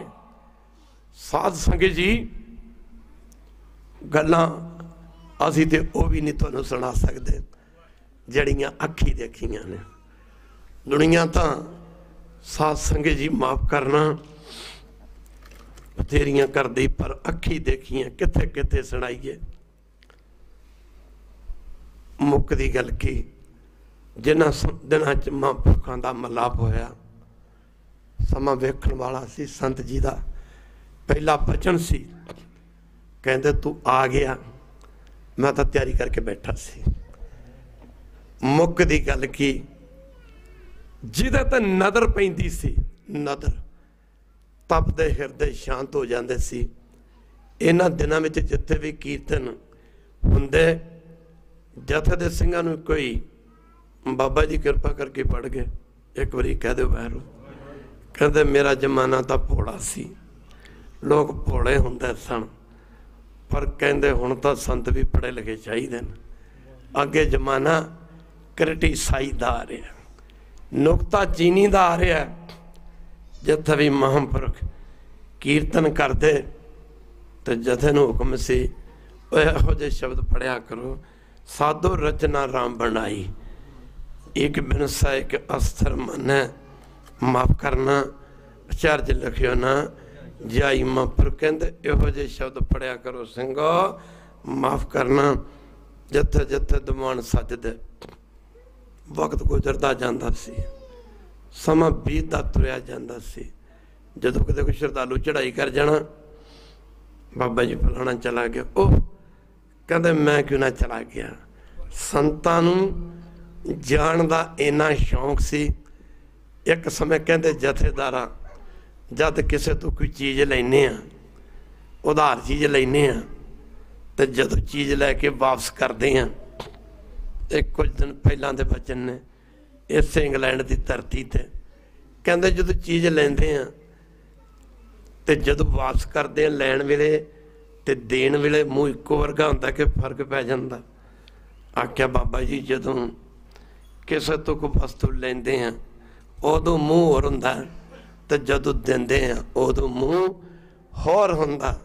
ਸੰਤ ਕਹਿੰਦੇ, ਵੇਖੋ ਜਥੇਦਾਰਾ ਜਿਵੇਂ ਪਰਮੇਸ਼ਰ ਤੋਂ ਹੱਸ ਕੇ ਸਰੀਰ ਲਿਆ ਸੀ ਇਵੇਂ ਵਾਪਸ ਮੋੜਨ ਵਾਸਤੇ ਜਾ ਰਿਹਾ ਮਹਾਂਪੁਰਖ ਰਾੜੇ ਵਾਲੇ 1900 1975 ਮਾਘ 9 ਮਾਘ ਦਾ ਮੇਲਾ ਸੰਤ ਬਾਬਾ ਤਰਸੇਰੀ ਰੂਸਾ ਵਾਲੇ ਜਿਸ ਦਿਨ ਸੱਚਖੰਡ ਗਏ ਸਨ 8 ਮਾਘ ਦੀ ਰਾਤ ਮਹਾਂਪੁਰਖਾਂ ਦੀ ਪਹਿਲੀ ਧਾਰਨਾ ਸੀ, ਗੁਰੂ ਕੀ ਸੰਗਤ ਅੱਜ ਕੀਰਤਨ ਦੇ ਵਿੱਚ ਪਹਿਲਾ ਸ਼ਬਦ ਪੜਨ ਤੋਂ ਬਾਅਦ ਜਦੋਂ ਕੀਰਤਨ ਦੀ ਸ਼ੁਰੂਆਤ ਕੀਤੀ ਤਨ ਜੋਬਨ ਫੁੱਲਾਂ ਦੀਆਂ ਵਾੜੀਆਂ ਖਿੜੀਆਂ ਨਾ ਸਦਾ ਰਹਿਣੀਆਂ। ਜੋਬਨ ਫੁੱਲਾਂ ਦੀਆਂ ਵਾੜੀਆਂ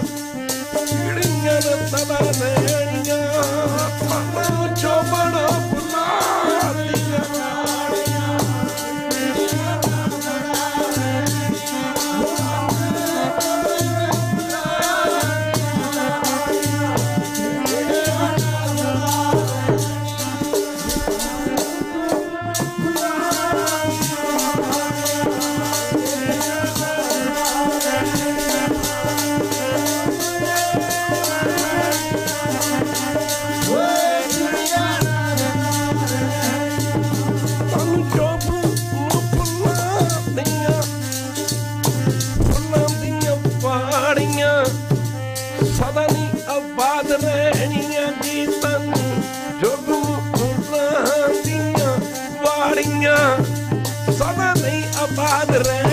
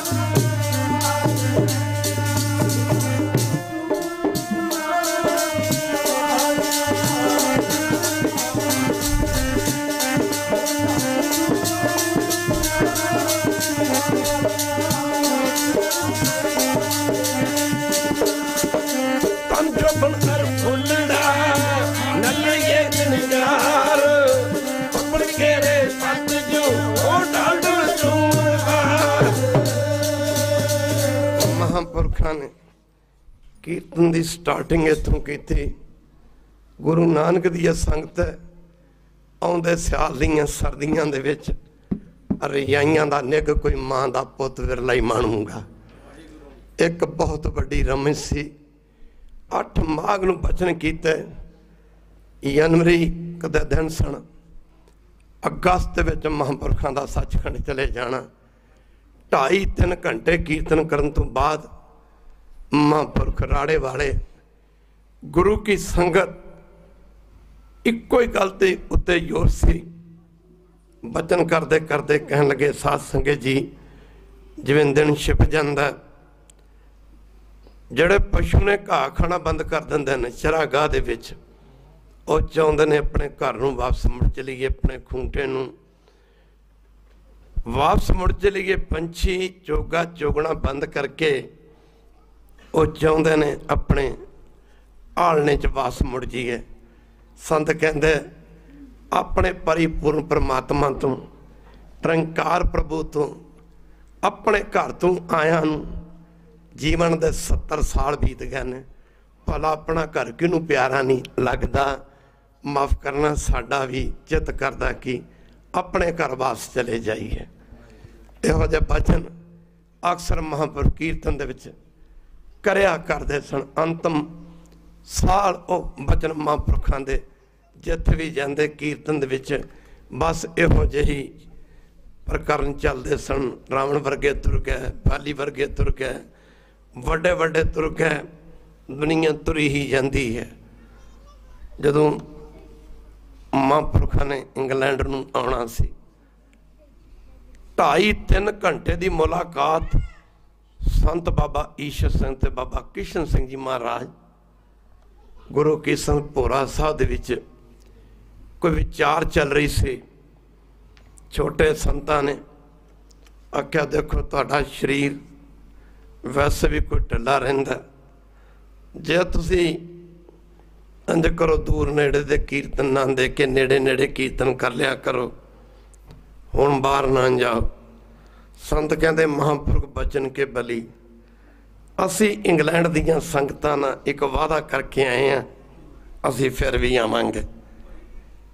ਪਰ ਜਦੋਂ ਮਹਾਂਪੁਰਖਾਂ ਨੇ ਦੂਜੀ ਵਾਰੀ ਬੇਨਤੀ ਕੀਤੀ, ਬਚਨ ਕੀਤਾ, ਸੰਤ ਕਿਸ਼ਨ ਸਿੰਘ ਜੀ ਨੇ, ਆਖਿਆ, ਮਹਾਂਪੁਰਖੋ, ਤੁਸੀਂ ਨਾ ਜਾਓ।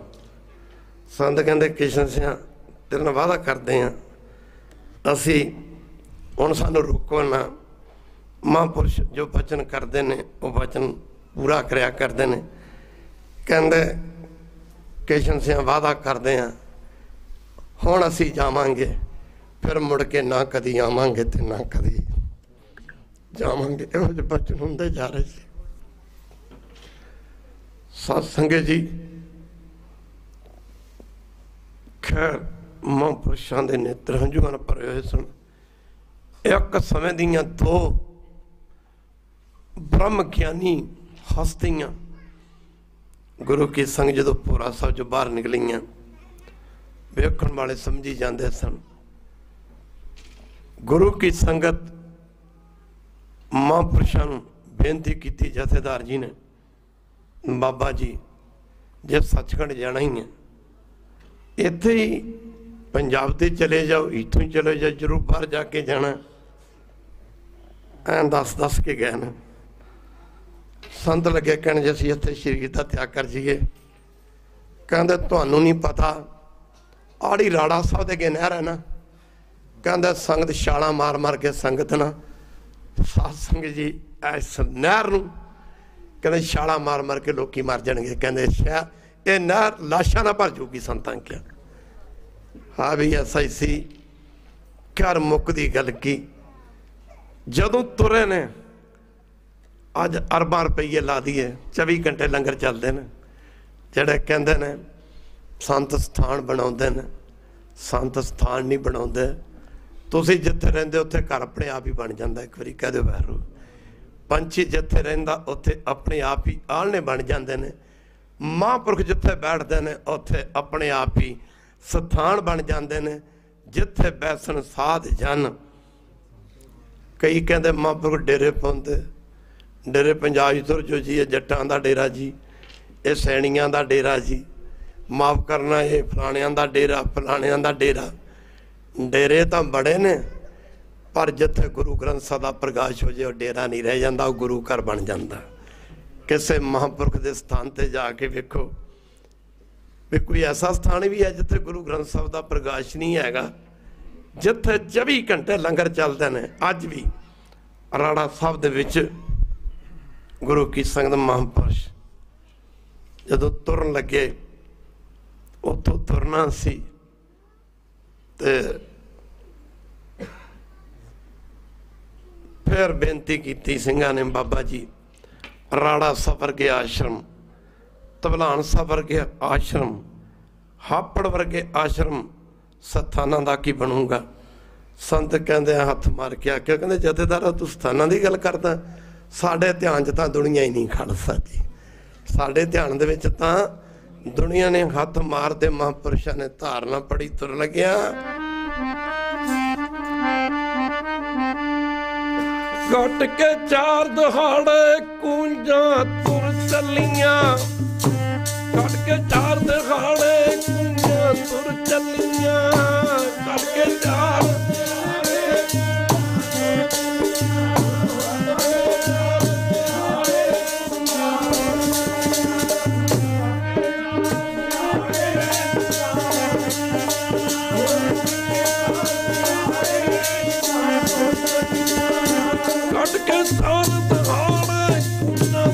ਤੁਰ ਕੱਢ ਕੇ ਚਾਰ ਦਹਾੜੇ ਕੂੰਜਾਂ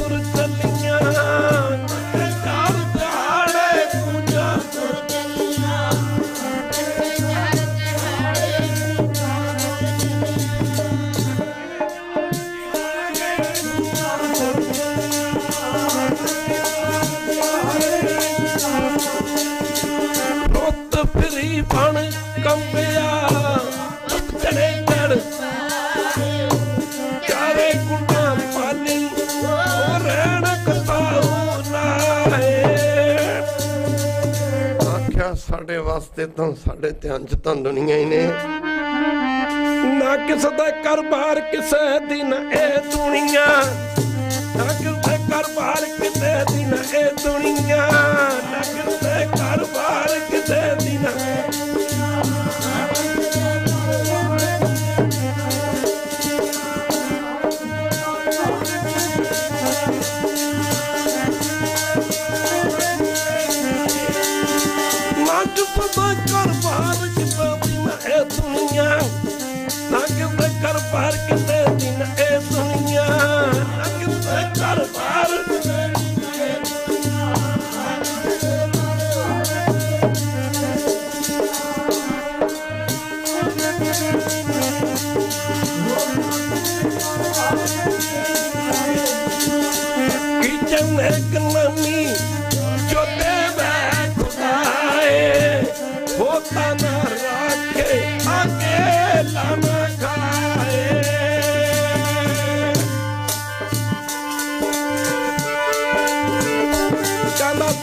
ਥੋੜਾ ਦੀ ਗੱਲ ਰਹਿ ਗਈ ਹੈ।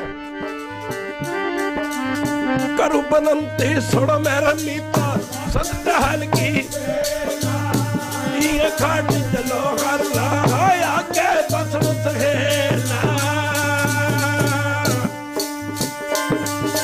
ਥੋੜੇ ਸਮੇਂ ਦੀ ਗੱਲ ਰਹਿ ਗਈ ਹੈ। ਆਪਣੇ ਮਾਲਕ ਦਾ ਦੇਸ਼ ਵਿੱਚ ਜਾ ਕੇ ਸਦੀਵੀ ਕਾਲ ਲਈ ਪ੍ਰਭੂ ਪਰਮੇਸ਼ਰ ਵਿੱਚ ਭੇਦ ਹੋ ਕੇ ਆ ਭੇਦ ਅਵਸਥਾ ਦਾ ਆਨੰਦ ਮਾਣਾਂਗੇ।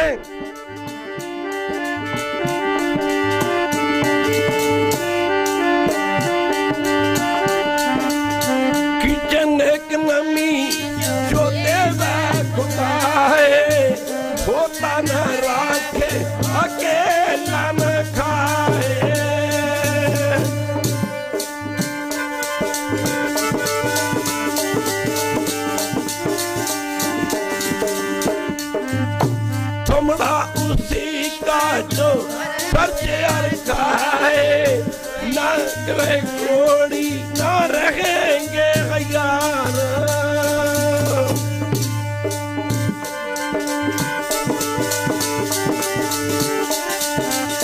न रहेंगे करोड़ी न रहेंगे यार किसकी ये दुनिया किसके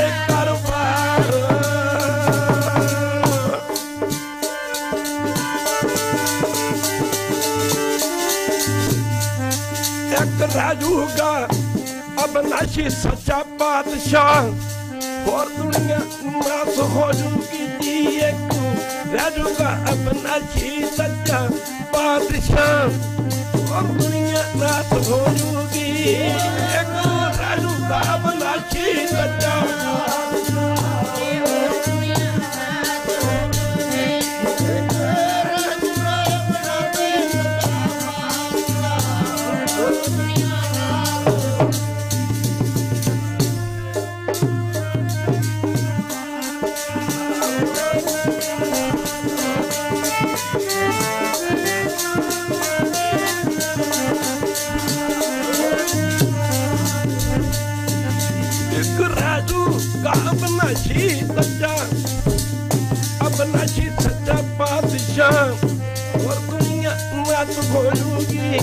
ਇੱਕ ਰਹਿ ਜੂਗਾ ਆਪਣਾ ਸ਼ੀ ਸੱਚਾ ਪਾਤਸ਼ਾਹ ਹੋਰ ਦੁਨੀਆ ਦਾ ਹੋ ਜੂਗੀ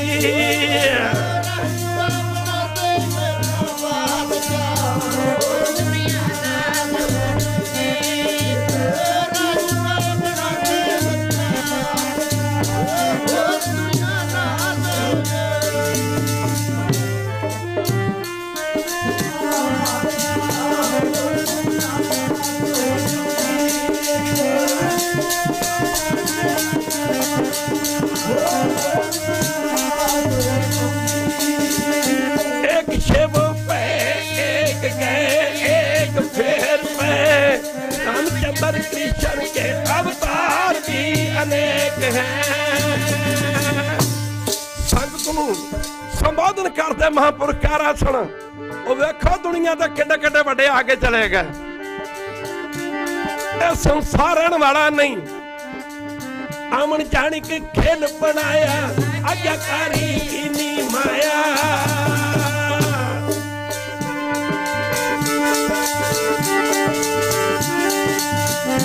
एक शिव पे एक गए एक फेर पे रामचंद्र कृष्ण के अवतार भी अनेक हैं कई परमा कई विष्णु कई शिव जी ਕਈ ਵੇਦਾਂ ਦੇ ਵਾਚਨ ਵਾਲੇ ਕਈ ਸਮਰਤੀਆਂ ਦੀ ਵਿਚਾਰ ਰੱਖਣ ਵਾਲੇ ਉਹ ਵੀ ਦੁਨੀਆ ਤੇ ਆਏ ਥੇ ਦੁਨੀਆ ਤੋਂ ਚਲੇ ਗਏ और महेश के वेद और पुराण के स्मृत समूहन के हो। बताए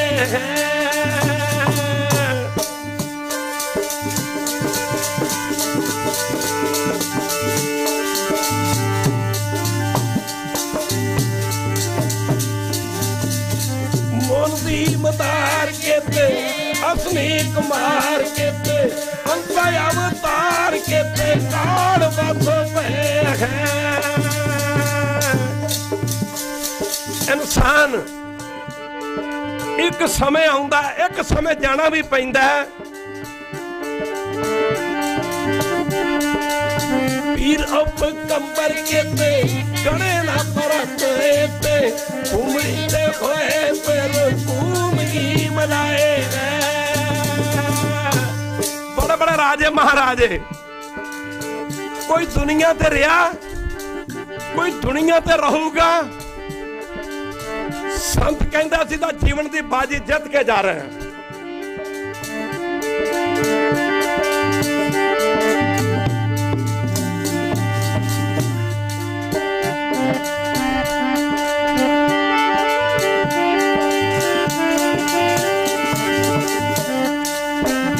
ਜਪਦੀ ਬ੍ਰਹਮ ਏ ਛਤਰ ਭਾਰੀ ਛਤਰੀ ਕੀ ਛਾਇਆ ਕਈ ਕੋ ਬਲੋਜ ਲੱਗ ਹੈ? ਨਾ ਕਿਸੇ ਕਰ ਬਾਹਰ ਕਿਤੇ ਦਿਨ ਇਹ ਦੁਨੀਆ ਨਾ ਕਿਸੇ ਕਰ ਬਾਹਰ ਕਿਤੇ ਦਿਨ ਇਹ ਦੁਨੀਆ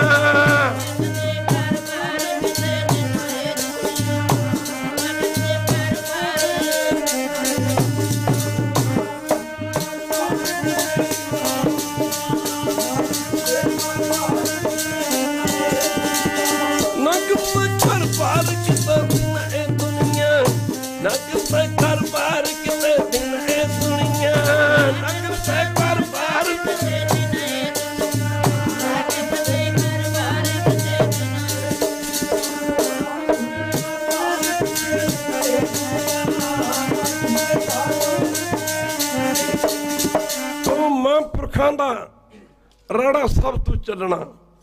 ਥੋੜੇ ਦਿਨ ਪਹਿਲਾਂ ਪਟਿਆਲੇ ਦੇ ਦੀਵਾਨ ਸਨ।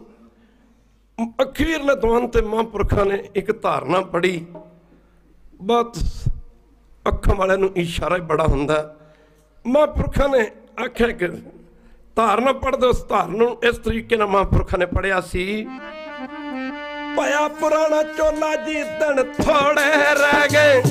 ਪਿਆ ਪੁਰਾਣਾ ਚੋਲਾ ਜੀ ਦਿਨ ਥੋੜੇ ਰਹਿ ਗਏ। ਪਿਆ ਪੁਰਾਣਾ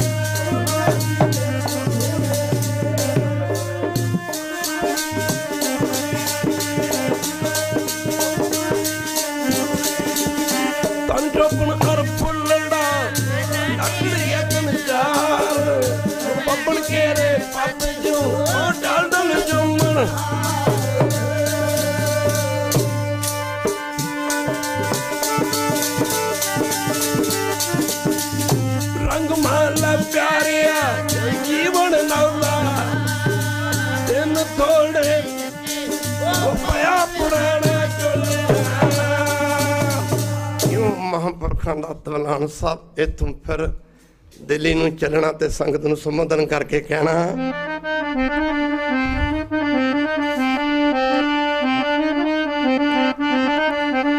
ਕਿਤੇ ਯਾਦ ਆਏ ਤਾਂ ਰੋਣਾ ਨਾ, ਯਾਦ ਆਵੇ ਤਾਂ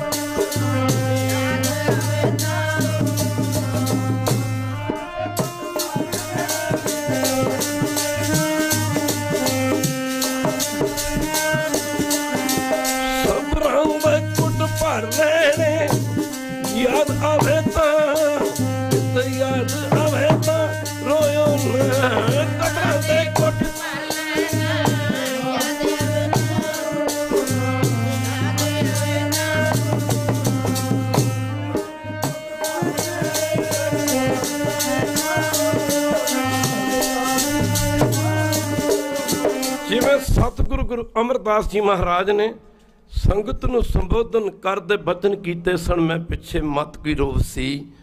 ਸੋ ਮੈਂ ਮੂਲ ਨਾ ਪਾਇਆ, ਮਹਾਂਪੁਰਖਾਂ ਦਾ ਦਿੱਲੀ ਪੁੱਜਣਾ, ਅਪ੍ਰੈਲ ਦਾ ਮਹੀਨਾ। ਠੀਕ ਗੁਰੂ ਕੀ ਸੰਗਤ 8 ਤੋਂ 11 ਤਰੀਕ ਦੇ ਨੇੜੇ ਦੀ ਗੱਲ ਹੈ। ਅੱਜ ਮਹਾਂਪੁਰਸ਼ਾਂ ਦੀ ਫਲਾਈਟ ਅੱਜ ਪੰਜਾਬ ਦਾ ਇੱਕ ਹੀਰਾ ਇੱਕ ਹੀਰਾ ਅੰਗਰੇਜ਼। ਲਾਹੌਰ ਤੋਂ ਮਹਾਰਾਜਾ ਰਣਜੀਤ ਸਿੰਘ ਦੇ ਖਜ਼ਾਨੇ ਚੋਂ ਲੈ ਕੇ ਇੱਥੇ ਆਏ ਸਨ। ਉਸ ਹੀਰੇ ਦੇ ਦੁਨੀਆ ਦਰਸ਼ਨ ਕਰਨ ਵਾਸਤੇ ਜਾਂਦੀ ਆ। ਪਰ ਇੱਕ ਐਸਾ ਮੋੜ ਹੀਰਾ ਜਿਹੜਾ ਸਦਾ ਲਈ ਪੰਜਾਬ ਦੇ ਲੋਕਾਂ ਤੋਂ ਜੁਦਾ ਹੋ ਗਿਆ। ਸੰਤ ਜੀ ਮਹਾਰਾਜ ਦਾ ਉੱਥੋਂ ਤੁਰਨਾ, ਇਹਨਾਂ ਸੰਗਤ ਦਾ ਇਕੱਠ ਹੋ ਗਿਆ। ਹੁੰਦਾ ਵੀ ਕਿਵੇਂ ਨਾ ਮਾਮਾ ਪੁਰਖਾਂ ਨੇ ਜਾਂਦੀ ਵਾਰੀ ਬਚਨ ਕੀਤਾ। ਕੱਲ ਵੀ ਕੀਰਤਨ ਦੀ ਗੱਲ ਚੱਲੀ ਸੀ। ਸੰਤ ਜੀ ਮਹਾਰਾਜ ਨੇ ਬਚਨ ਕੀਤਾ, ਗੁਰੂ ਨਾਨਕ ਦੀ ਸੰਗਤੇ, ਸ਼ਬਦ ਮਲਾਵਾ ਹੋਤ ਹੈ। ਸ਼ਬਦ ਮਲਾਵਾ ਹੋਤ ਹੈ। ਦੇ ਮਲਾਵਾ ਨਾ ਹੈ ਕਹਿੰਦੇ ਸਾਧ ਸੰਗਤ ਜਿਹੜੇ ਗੁਰੂ ਗ੍ਰੰਥ ਸਾਹਿਬ ਦੇ ਚਰਨਾਂ ਨਾਲ ਜੁੜੇ ਰਹਿਣਗੇ, ਅਸੀਂ ਉਹਨਾਂ ਦੇ ਅੰਗ ਸੰਗ ਰਹਾਂਗੇ, ਜਿਹੜੇ ਗੁਰੂ ਗ੍ਰੰਥ ਸਾਹਿਬ ਨੂੰ ਟੁੱਟ ਜਾਣਗੇ। ਸਰੀਰ ਦਾ ਮਲਾਪ, ਇਹ ਅੰਤਮ ਮਲਾਪ ਹੈ। ਇਹ ਸਦਾ ਨਹੀਂ ਰਹਿੰਦਾ, ਇਹ ਕੁਝ ਸਮੇਂ ਲਈ ਹੁੰਦਾ ਹੈ। ਉਹ ਬਚਨ ਕਰਕੇ ਮਹਾਂਪੁਰਖ ਕੇ ਪਾਲਮਪੁਰ 에어ਪੋਰਟ ਹੁੰਦਾ ਸੀ, ਸਮਾਂ ਬੀਤਣ ਨਾਲ ਇਹ ਫਿਰ ਵੱਡਾ ਬਣ ਗਿਆ। ਅੱਜ ਕੱਲ ਇੰਦਰਾ ਗਾਂਧੀ 에어ਪੋਰਟ ਹੈ। ਇਹ ਮਹਾਂਪੁਰਖ ਜਦੋਂ ਸੰਗਤ ਵੱਲ ਇਹਨਾਂ ਹੱਥ ਖੜਾ ਕਰਕੇ ਫੇਰ ਨਹੀਂ ਬੋਲੇ ਮਹਾਂਪੁਰਸ਼ਾਂ ਮੁੜ ਕੇ ਪਿੱਛੇ ਝਾਕਿਆ ਹੀ ਨਹੀਂ। ਅੱਧਾ ਅੱਧਾ ਪੜਿਓ ਬਈ। ਕਿਤਾ ਹੋਣਗੇ ਸੁਬੱਬੀ ਮੇਲੇ।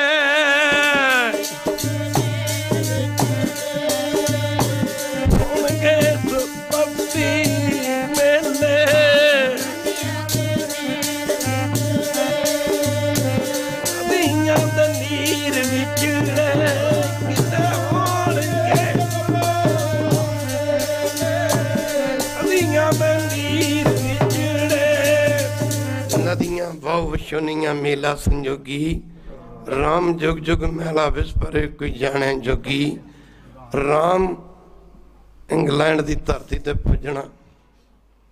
ਉਧਰ ਲੋਕਾਂ ਦੀ ਕਿਸਮਤ ਸੌਂਦੀ ਸੌਂਦੀ ਸੌਂ ਗਈ। ਪਰ ਇਧਰ ਕਿਸਮਤ ਨੂੰ ਚਾਰ ਚੰਨ ਲਾਉਣ ਵਾਸਤੇ ਸੰਤ ਜੀ ਨੇ ਇੰਗਲੈਂਡ ਦੇ ਵਿੱਚ, ਜਿੰਨੇ ਵੀ ਸਮੇਂ ਰਹੇ ਗੁਰੂ ਕੀ ਸੰਗਤ ਬਚਨ ਸੁਣਨ ਨੂੰ ਮਿਲਦੇ ਹਨ। ਸੰਤ ਆਮ ਸੰਗਤਾਂ ਵਿੱਚ ਬਚਨ ਕਰਦੇ ਭਲਾ, ਜੇ ਤੇ ਕੋਈ ਸਰੀਰ ਦਾ ਤਿਆਗ ਕਰ ਜੇ, ਉਹਦਾ ਇੰਡੀਆ 'ਚ ਸਰੀਰ ਵਾਪਸ ਜਾ ਸਕਦਾ। ਵੈਸੇ ਤਾਂ ਕਹਿੰਦੇ ਕੋਈ ਨਹੀਂ, ਸਰੀਰ ਨੂੰ ਕੀ ਫ਼ਰਕ ਪੈਂਦਾ? ਪਰ ਸ਼ਰਧਾਲੂਆਂ ਦੀ ਇੱਛਾ ਹੁੰਦੀ ਕਿ ਮਹਾਂਪੁਰਸ਼ਾਂ ਦੇ ਅੰਤਮ ਸਰੀਰ ਦੇ ਦਰਸ਼ਨ ਹੋ ਜਾਣ। ਇਹੋ ਜਿਹੇ ਬਚਨ ਕਰਦੇ ਕਈ ਵਾਰੀ ਜਦਰ ਬਾਬਾ ਮਹਿੰਦਰ ਸਿੰਘ ਸਾਧ ਸੰਗਤ ਜੀ ਆਪ ਜੀ ਨੂੰ ਬੇਨਤੀ ਕਰਦੇ ਬਾਬਾ ਜੀ, ਇਹੋ ਜਿਹੀ ਗੱਲ ਹੋ ਗਈ, ਅਸੀਂ ਭਲਾ ਕਿਹੜਾ ਮੂੰਹ ਲੈ ਕੇ ਪੰਜਾਬ ਜਾਵਾਂਗੇ? ਬਾਬਾ ਜੀ ਕਿਰਪਾ ਕਰੋ। ਜੇਕਰ ਆਪ ਜੀ ਨੇ ਕੋਈ ਪਾਣਾ ਵਰਤਾਉਣਾ ਹੀ ਹੈ, ਤੇ ਕਿਰਪਾ ਕਰੋ, ਵਾਪਸੀ ਦੀਆਂ ਟਿਕਟਾਂ ਇੰਡੀਆ ਦੀਆਂ ਕਰਵਾ ਲਈਏ। ਅਸੀਂ ਪੰਜਾਬ ਭਲਾ ਕਿਹੜਾ ਮੂੰਹ ਲੈ ਕੇ ਜਾਵਾਂਗੇ? ਲੋਕ ਸਾਤੋਂ ਪੁੱਛਣਗੇ, ਅਸੀਂ ਕੀ ਕਹਾਂਗੇ? ਖੈਰ, ਫਿਰ ਕਹਿੰਦੇ ਮੈਂ ਤਾਂ ਐਵੇਂ ਕਰਦਾ ਸੀ। ਕਰਦੇ ਕਰਦੇ ਕਾਰੋ ਸਮਾਂ ਨੇੜੇ ਆ ਰਿਹਾ ਸੀ। ਬੜੇ ਕੌਤਕ ਕੀਤੇ ਬੜੇ ਲੋਕਾਂ ਦੇ 5 ਅਗਸਤ ਨੂੰ ਲੋਕਾਂ ਦੇ ਘਰਾਂ 'ਚ ਚਰਨ ਪਾਉਂਦੇ ਫਿਰਦੇ ਨੇ, ਇੱਕ ਵਾਰੀ ਕਹਦੇ ਵਾਰ ਉਹ ਮਹਾਨ ਤਪਸਵੀ, ਰਾਜਾ ਜੋਗੀ, ਦਇਆ ਦੇ ਸਾਗਰ, ਸਮੁੰਦਰ। ਸ਼ਾਮ ਦਾ ਸਮਾਂ, ਜਿਹੜੀ ਮਾਇਆ ਚਰਨਾਂ ਚ ਆਉਂਦੀ, ਸੇਵਾਦਾਰ ਨੂੰ ਕਹਿੰਦੇ, ਲਓ, ਕਿਤੇ ਵਰਤ ਲਿਓ, ਕੰਮ ਆ ਜੂਗੀ। ਪਰ ਵਕਤ ਨੇੜੇ ਆਉਂਦਾ ਜਾ ਰਿਹਾ ਸੀ। ਪਹਿਲਾਂ ਤੁਹਾਡੇ ਨਹੀਂ ਸ਼ਹਿਰਾਂ ਦੇ ਵਿੱਚ ਇੱਕ ਪ੍ਰੇਮੀ ਦੇ ਘਰੇ ਠਹਿਰੇ ਚਰਨ ਪਾਏ। ਉਹਨੂੰ ਕਹਿੰਦੇ, ਤੇਰੇ ਘਰੇ ਸ੍ਰੀ ਛੱਡਦੀ ਹੈ ਸਾਰਾ ਪਰਿਵਾਰ ਰੋਣ ਲੱਗ ਗਿਆ। ਬਾਬਾ ਜੀ, ਆਪ ਜੀ ਨੇ ਕੀ ਬਚਨ ਕੀਤਾ? ਸੰਤ ਜੀ ਕਹਿੰਦੇ, ਮੈਂ ਤਾਂ ਐਵੇਂ ਲੱਗਾ ਸੀ, ਵੈਸੇ ਮੈਂ ਤਾਂ ਵੈਸੇ ਪੁੱਛਿਆ। ਪਰ ਕਹਿੰਦੇ, ਜਿੱਥੇ ਅਸੀਂ ਸਰੀਰ ਦਾ ਤਿਆਗ ਕਰਨਾ, ਉਹ ਧਰਤੀ ਤਾਂ ਸਾਡੀ ਇੱਥੋਂ ਕਰੀਬ ਕਰੀਬ ਕਹਿੰਦੇ 150 ਮੀਲ ਤੇ ਇੰਤਜ਼ਾਰ ਕਰ ਰਹੀ ਹੈ। ਉਹ ਧਰਤੀ ਤੁਹਾਡੀ ਵਲਵਰਹੈਂਪਟਨ ਦੀ ਧਰਤੀ ਸੀ। ਸੱਚਮੁੱਚ ਦਾਸ ਉਹ ਗੱਲ ਕਹਿ ਰਿਹਾ, ਜਦ ਮੈਂ ਆਪਣੇ ਅੱਖੀ ਦੇਖੀ, ਮੇਰੀ ਹੱਡ ਬੀਤੀ ਆ। ਮਹਾਂਪੁਰਖਾਂ ਦੇ ਦਰਸ਼ਨ ਕਰਕੇ ਰੱਬ ਦੇ ਦਰਸ਼ਨਾਂ ਦੀ ਵੀ ਇੱਛਾ ਨਹੀਂ ਸੀ ਰਹਿ ਜਾਂਦੀ ਮਾਫ ਕਰਨਾ सब कुछ मांग लिया खुद लिया खुदा से सब कुछ मांग लिया खुदा से तुझे मांग के अब उठते नहीं हाथ मेरे इस दुआ के बाद पर वक्त बड़ा बलवान है तेरा ਕਰਮ ਤੋਂ ਖੁਦਾਇਆ ਆਪਾਂ ਗੁਰੂ ਗ੍ਰੰਥ ਸਾਹਿਬ ਦੇ ਚਰਨਾਂ 'ਚ ਬੈਠੇ ਆ ਮਹਾਰਾਜ ਦੀ ਬਖਸ਼ ਸਾਡੇ ਸਾਰਿਆਂ ਵਾਸਤੇ ਇੱਕੋ ਹੀ ਹੈ ਇੱਕ ਵਾਰੀ ਕਹਿ ਦਿਓ ਵੈਰੂ ਮਹਾਰਾਜ ਸਾਡੇ ਸਾਰਿਆਂ ਵਾਸਤੇ ਗੁਰੂ ਗ੍ਰੰਥ ਸਾਹਿਬ ਜੀ ਇੱਕ ਨੇ ਤੇਰਾ ਕਰਮ ਤੋਂ ਖੁਦਾਇਆ ਸਭ ਕੇ ਲਈ ਏਕ ਹੈ ਗੁਰਦੂ ਦਾ ਸ਼ੇਰ ਲਿਖਦਾ ਪੜੋ ਤੇਰਾ कर्म तो खुदाया सब के लिए एक है हम कितना ले सकेंगे हम कितना ले सकेंगे ਤੇ ਆਪਣਾ ਮੁਕੱਦਰ ਹੈ, ਤੇ ਆਪਣਾ ਮੁਕੱਦਰ ਹੈ ਰਾਤ ਦੇ ਦੀਵਾਨ ਦੇ ਵਿੱਚ ਮਹਾਂਪੁਰਸ਼ਾਂ ਦੇ ਬਚਨ ਕਰਨੇ। ਜਿਹੜਾ ਅਖੀਰਲੇ ਦੀਵਾਨ ਦੀ ਕੈਸਟ ਸੁਣ ਕੇ ਦੇਖਿਓ ਜੇ ਮਹਾਂਪੁਰਖਾਂ ਨੇ ਪੈਰਾਂ ਤੋਂ ਲਾ ਕੇ ਹੱਥਾਂ ਤੱਕ, ਨੇਤਰਾਂ ਤੱਕ, ਕੰਨਾਂ ਤੱਕ, ਜ਼ੁਬਾਨ ਤੱਕ ਕੱਲੇ ਕੱਲੇ ਸਰੀਰ ਦੇ ਅੰਗ ਦੇ ਪਰਥਾਏ ਬਚਨ ਕਰਕੇ ਸਮਝਾਇਆ ਕਿ ਹੱਥ ਹੱਥ ਕਾਦੇ ਲਈ ਮਿਲੇ? ਪੈਰ ਕਾਦੇ ਲਈ ਮਿਲੇ ਜ਼ੁਬਾਨ ਕਾਦੇ ਤੇ ਮਿਲ- ਲਈ ਮਿਲੀ? ਘਰ ਗੁਰੂ ਕੀ ਸੰਗਤ? ਅੱਜ ਮਾਫ ਕਰਨਾ ਗੁਰੂ ਕੀ ਸੰਗਤ?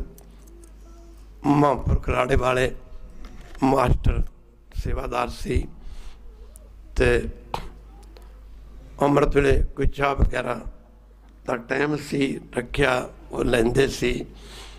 ਚਾਹ ਵਗੈਰਾ ਛਕ ਕੇ ਇਸ਼ਨਾਨ ਕਰਨ ਤੋਂ ਬਾਅਦ ਅੱਜ ਅੰਦਰੋਂ ਕੁੰਡੀ ਲਾ ਲਈ, ਮਾਫ ਕਰਨਾ, ਕੁੰਡੀ ਲੱਗੀ ਹੋਈ ਸੀ ਐਸਾ ਵੀ ਦੱਸਦੇ ਨੇ। ਦਿਨ ਚੜਿਆ ਜਥੇਦਾਰ ਜੀ ਬਾਬਾ ਜੀ ਦੇ ਬਚਨ ਨੇ, ਕਹਿੰਦੇ ਨੇ, ਅਸੀਂ ਵੇਖਣ ਵਾਸਤੇ ਜਗ੍ਹਾ ਜਾਂਦੇ ਸੀ, ਤਿਆਰੀ ਕਰਨ ਜਾਂਦੇ ਸੀ, ਜਿੱਥੇ ਦੀਵਾਨ ਲੱਗਦੇ ਸੀ। ਅਸੀਂ ਮਾਫ ਕਰਨਾ, ਉਹ ਜਗ੍ਹਾ ਦੇਖਣ ਵਾਸਤੇ ਚਲੇ ਗਏ, ਦੀਵਾਨ ਵਾਲੀ ਥਾਂ ਤੇ। ਬਾਅਦ 'ਚ ਪਤਾ ਲੱਗਾ ਵੀ ਅੱਜ ਸੰਤ ਜੀ ਬਾਹਰ ਨਹੀਂ ਨਿਕਲੇ। ਉਹਨਾਂ ਬਚਨ ਕੀਤਾ ਸੀ ਕਿਸੇ ਮੌਕੇ ਕਹਿੰਦਾ ਸਾਡੀ ਰੂਹ ਸਾਡੀ ਰੂਹ ਕਹਿੰਦਾ ਸੱਚਖੰਡ ਪਹੁੰਚ ਗਈ ਹੋਵੇਗੀ। ਸਾਡੇ ਸਰੀਰ 'ਚ ਸਵਾਸ ਚੱਲਦੇ ਹੋਣਗੇ ਖਾਲਸਾ ਜੀ ਸਾਡੇ ਸਰੀਰ ਸਵਾਸ ਚੱਲਦੇ ਹੋਣਗੇ, ਰੂਹ ਸਾਡੀ ਨਿਰੰਕਾਰ ਦੇ ਦੇਸ਼ ਵਿੱਚ ਪਹੁੰਚ ਗਈ ਹੋਵੇਗੀ। ਇਤਿਹਾਸ ਦੱਸਦਾ ਜਦੋਂ ਤੋਂ ਲੈ ਕੇ ਸ੍ਰਿਸ਼ਟੀ ਬਣੀ ਹੈ, ਇੱਕ ਸਤਿਗੁਰੂ ਗੁਰੂ ਹਰਗੋਬਿੰਦ ਜੀ ਨੇ ਚੌਂਕੜਾ ਮਾਰ ਕੇ ਸਰੀਰ ਛੱਡਿਆ। 2000 ਵਾਲੇ ਵਾਲੇ ਸੰਤਾਂ ਨੇ ਚੌਕਣਾ ਮਾਰ ਕੇ ਸਰੀਰ ਛੱਡਿਆ। ਮਾਫ ਕਰਨਾ। ਖੈਰ, ਸਮਾਂ ਨਿਕਲ ਚੁੱਕਾ ਸੀ। ਖੈਰ, ਗੁਰੂ ਕੀ ਸੰਗਤ ਦਰਵਾਜ਼ਾ ਬੰਦ ਸੀ। ਦੇਖਿਆ ਮਹਾਂਪੁਰਖ। ਖੈਰ, ਦਰਵਾਜ਼ਾ ਖੜਕਾਇਆ ਗਿਆ। ਮੁੱਕ ਦੀ ਗੱਲ ਕੀ? ਉਹਦੀ ਕੁੰਡੀ ਲੱਗੀ ਸੀ। ਆਪਣੇ ਆਪ ਪਤਾ ਨਹੀਂ ਕਿਵੇਂ ਖੁੱਲ ਗਈ। ਮੁੱਕ ਦੀ ਗੱਲ ਕੀ ਆ? ਸਾਧ ਸੰਗਤ ਦੇਖਿਆ। ਡਾਕਟਰ ਨੂੰ ਬੁਲਾਇਆ ਗਿਆ। ਡਾਕਟਰਾਂ ਨੇ ਕਹਿ ਦਿੱਤਾ ਮਾਫ ਕਰਨਾ ਗੁਰੂ ਕੀ ਸੰਗਤ, ਤੁਹਾਡੇ ਸੰਤ ਰੱਬ ਨੂੰ ਪਿਆਰੇ ਹੋ ਗਏ। ਇਹ ਲੋਕ ਭਾਵੇਂ ਇਹਨਾਂ ਗੱਲਾਂ ਨੂੰ ਨਹੀਂ ਮੰਨਦੇ ਕਿ ਸਮਾਧੀ ਕੀ ਹੁੰਦੀ ਆ, ਪਰ ਸਾਧ ਸੰਗਤ ਉਹਨਾਂ ਕਹਿੰਦੇ ਨਹੀਂ। ਘਰ ਇਹ ਸੰਤ ਜੀ ਮਹਾਰਾਜ ਦਾ ਜਾਣਾ ਦੁਨੀਆ ਦੇ ਕੋਨੇ-ਕੋਨੇ 'ਚ ਜੰਗਲ ਦੀ ਅੱਗ ਵਾਂਗੂ ਫੈਲ ਗਿਆ। ਪੰਜਾਬ ਦੇ ਵਿੱਚ ਅੱਜ ਦੇ ਦਿਨ ਅਖਬਾਰਾਂ ਛਪ ਗਈਆਂ। ਦਾ ਟਾਈਮ ਟੂਡੇ ਅੱਜ ਦੇ ਦਿਨ। ਦਾਸ ਮੋਦੀ ਕਾਲਜ ਪਟਿਆਲੇ 'ਚ ਪੜ੍ਹਾਈ ਦਾ ਅਖੀਰਲਾ ਵਰਾ ਸੀ ਬੀਏ ਫਾਈਨਲ 'ਚ ਐਡਮਿਸ਼ਨ ਲੈਣ ਵਾਸਤੇ ਫਾਰਮ ਭਰਿਆ ਸੀ। ਮੇਰੇ ਯਾਰ ਦੋਸਤ, ਮੇਰੇ ਖੱਬੇ ਸੱਜੇ ਬੈਠ ਖੜੇ ਸਨ ਟੇਬਲ ਤੇ। ਮੈਨੂੰ ਕਹਿੰਦੇ ਆ ਭਰ ਆ ਭਰ ਆ ਸਾਡੇ ਵੀ ਭਰ ਦੇ। ਮੈਂ ਕੋਈ ਨਹੀਂ ਭਰ ਲੈਨੇ ਆ ਪਰ ਯਾਰਾਂ ਦੋਸਤਾਂ ਨੂੰ ਪਤਾ ਸੀ ਸਹਿਰ ਲੱਗੀ ਨੂੰ ਹੀ ਜਾਣਦਾ ਮੁੱਕਦੀ ਗੱਲ ਕੀ? ਇਸ ਦਰਦ ਨੂੰ ਉਹੀ ਜਾਣਦਾ, ਜਿਹਦੀ ਕਿ ਆਪਣੇ ਮਾਲਕ ਨਾਲ ਲੱਗੀ ਹੋਵੇ। ਮੇਰਾ ਇੱਕ ਫਰੈਂਡ ਸੀ, ਬੋਲ ਨਾ ਸਕਿਆ। ਮੇਰੇ ਅੱਗੇ ਇੰਗਲਿਸ਼ ਦਾ ਟ੍ਰਿਬਿਊਨ ਪੇਪਰ ਕਰਕੇ ਕਹਿੰਦਾ ਮਾਨ ਸਿੰਘ ਯਾਰ, ਇੱਕ ਬੈਡ ਨਿਊਜ਼ ਆ। ਜਿਸ ਤੇ ਲਿਖਿਆ ਸੀ, ਸੰਤੀ ਸ਼ਿਸ਼ਨ ਰਾਰਾ ਸਾਹਿਬ। ਡੈਡ ਪਤਾ ਨਹੀਂ ਕਾਗਜ਼ ਕਿੱਥੇ ਚਲੇ ਗਏ। ਪੈਨ ਕਿੱਥੇ ਚਲਾ ਗਿਆ। ਖੈਰ ਜ਼ਿੰਦਗੀ ਆਪਣੇ ਆਪ ਚ ਬੋਝ ਬਣ ਗਈ। ਮਹਾਂਪੁਰਖਾਂ ਦਾ ਜਾਣਾ ਅੱਜ ਵੀ ਇੰਜ ਮਹਿਸੂਸ ਹੁੰਦਾ। ਕਈ ਕਹਿੰਦੇ ਸੰਤਾਂ ਨੂੰ ਮੰਨੋ, ਬਾਣੀ ਕਹਿੰਦੀ ਸੰਤਾਂ ਮਾਨੋ। ਸਾਰੇ ਪੜੋ ਸੰਤਾਂ ਮਾਨੋ, ਦੂਤਾਂ ਡਾਨੋ, ਇੱਕ ਟਵਾਰੀ ਮੇਰੀ। ਮਹਾਂਪੁਰਖਾਂ ਦੀ ਸੰਗਤ ਚ ਆ ਕੇ ਜੀਵਨ ਦੇ ਭੇਦ ਖੁੱਲਦੇ ਨੇ। ਇਹ ਖਬਰ ਸਾਰੇ ਪੰਜਾਬ ਦੇ ਵਿੱਚ ਫੈਲ ਗਈ। ਖੈਰ ਗੁਰੂ ਕੀ ਸੰਗਤ ਸਰੀਰ ਆਉਣ ਲੱਗਿਆ। ਸਾਸਾਂ ਰਾੜਾ ਸਾਹਿਬ, ਕੋਈ ਸਮਾਂ ਲੱਗਿਆ। ਜਿੱਥੇ ਜਿੱਥੇ ਵੀ ਕੋਈ ਖਲੋਤਾ ਸੀ।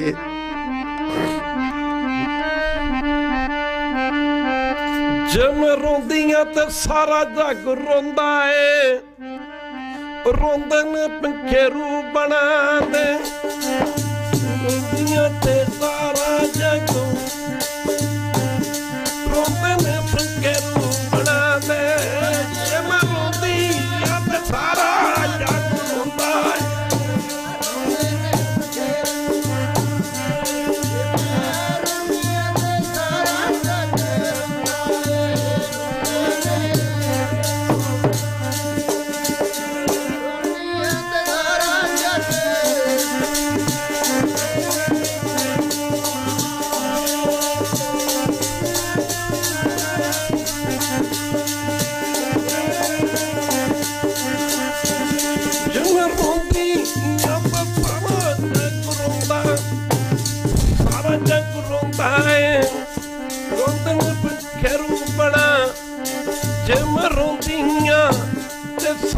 ਸਾਰਾ ਜੱਗ ਏ ਰੋਂਦੇ ਨੇ ਪੰਖੇਰੂ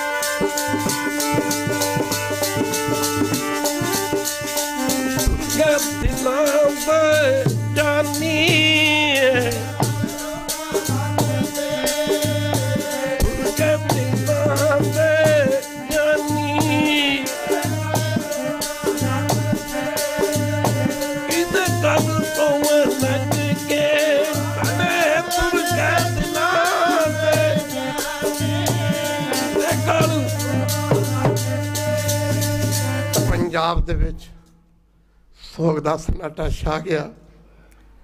ਜਿੱਥੇ ਕੋਈ ਸੰਤ ਸੀ, ਕੋਈ ਮਹਾਂਪੁਰਸ਼ ਸੀ, ਕੋਈ ਵੀ ਸੀ, ਵੱਡਾ ਵੱਡਾ ਸਿਆਸੀ ਬੰਦਾ, ਗੁਰੂ ਕੀ ਸੰਗਤ, ਮਹਾਂਪੁਰਸ਼ਾਂ ਦਾ ਸ਼ਰੀਰ, ਜਦੋਂ ਇੰਗਲੈਂਡ ਤੋਂ ਪੰਜਾਬ ਪੁੱਜਿਆ, ਰਾੜਾ ਸਾਹਿਬ, ਸਾਧ ਸੰਗਤ ਜੀ, ਦਰਸ਼ਨ ਨਹੀਂ ਸੁਣ ਹੋ ਰਿਹਾ ਬੜਾ ਰਸ਼ ਸੀ ਕਰਮ ਮੁਕਦੀ ਗੱਲ ਕੀ, ਉਹ ਸੱਚਮੁੱਚ ਪੰਜਾਬ ਇੱਕ ਦਿਨ ਖਾਲੀ ਹੋ ਗਿਆ ਸੀ।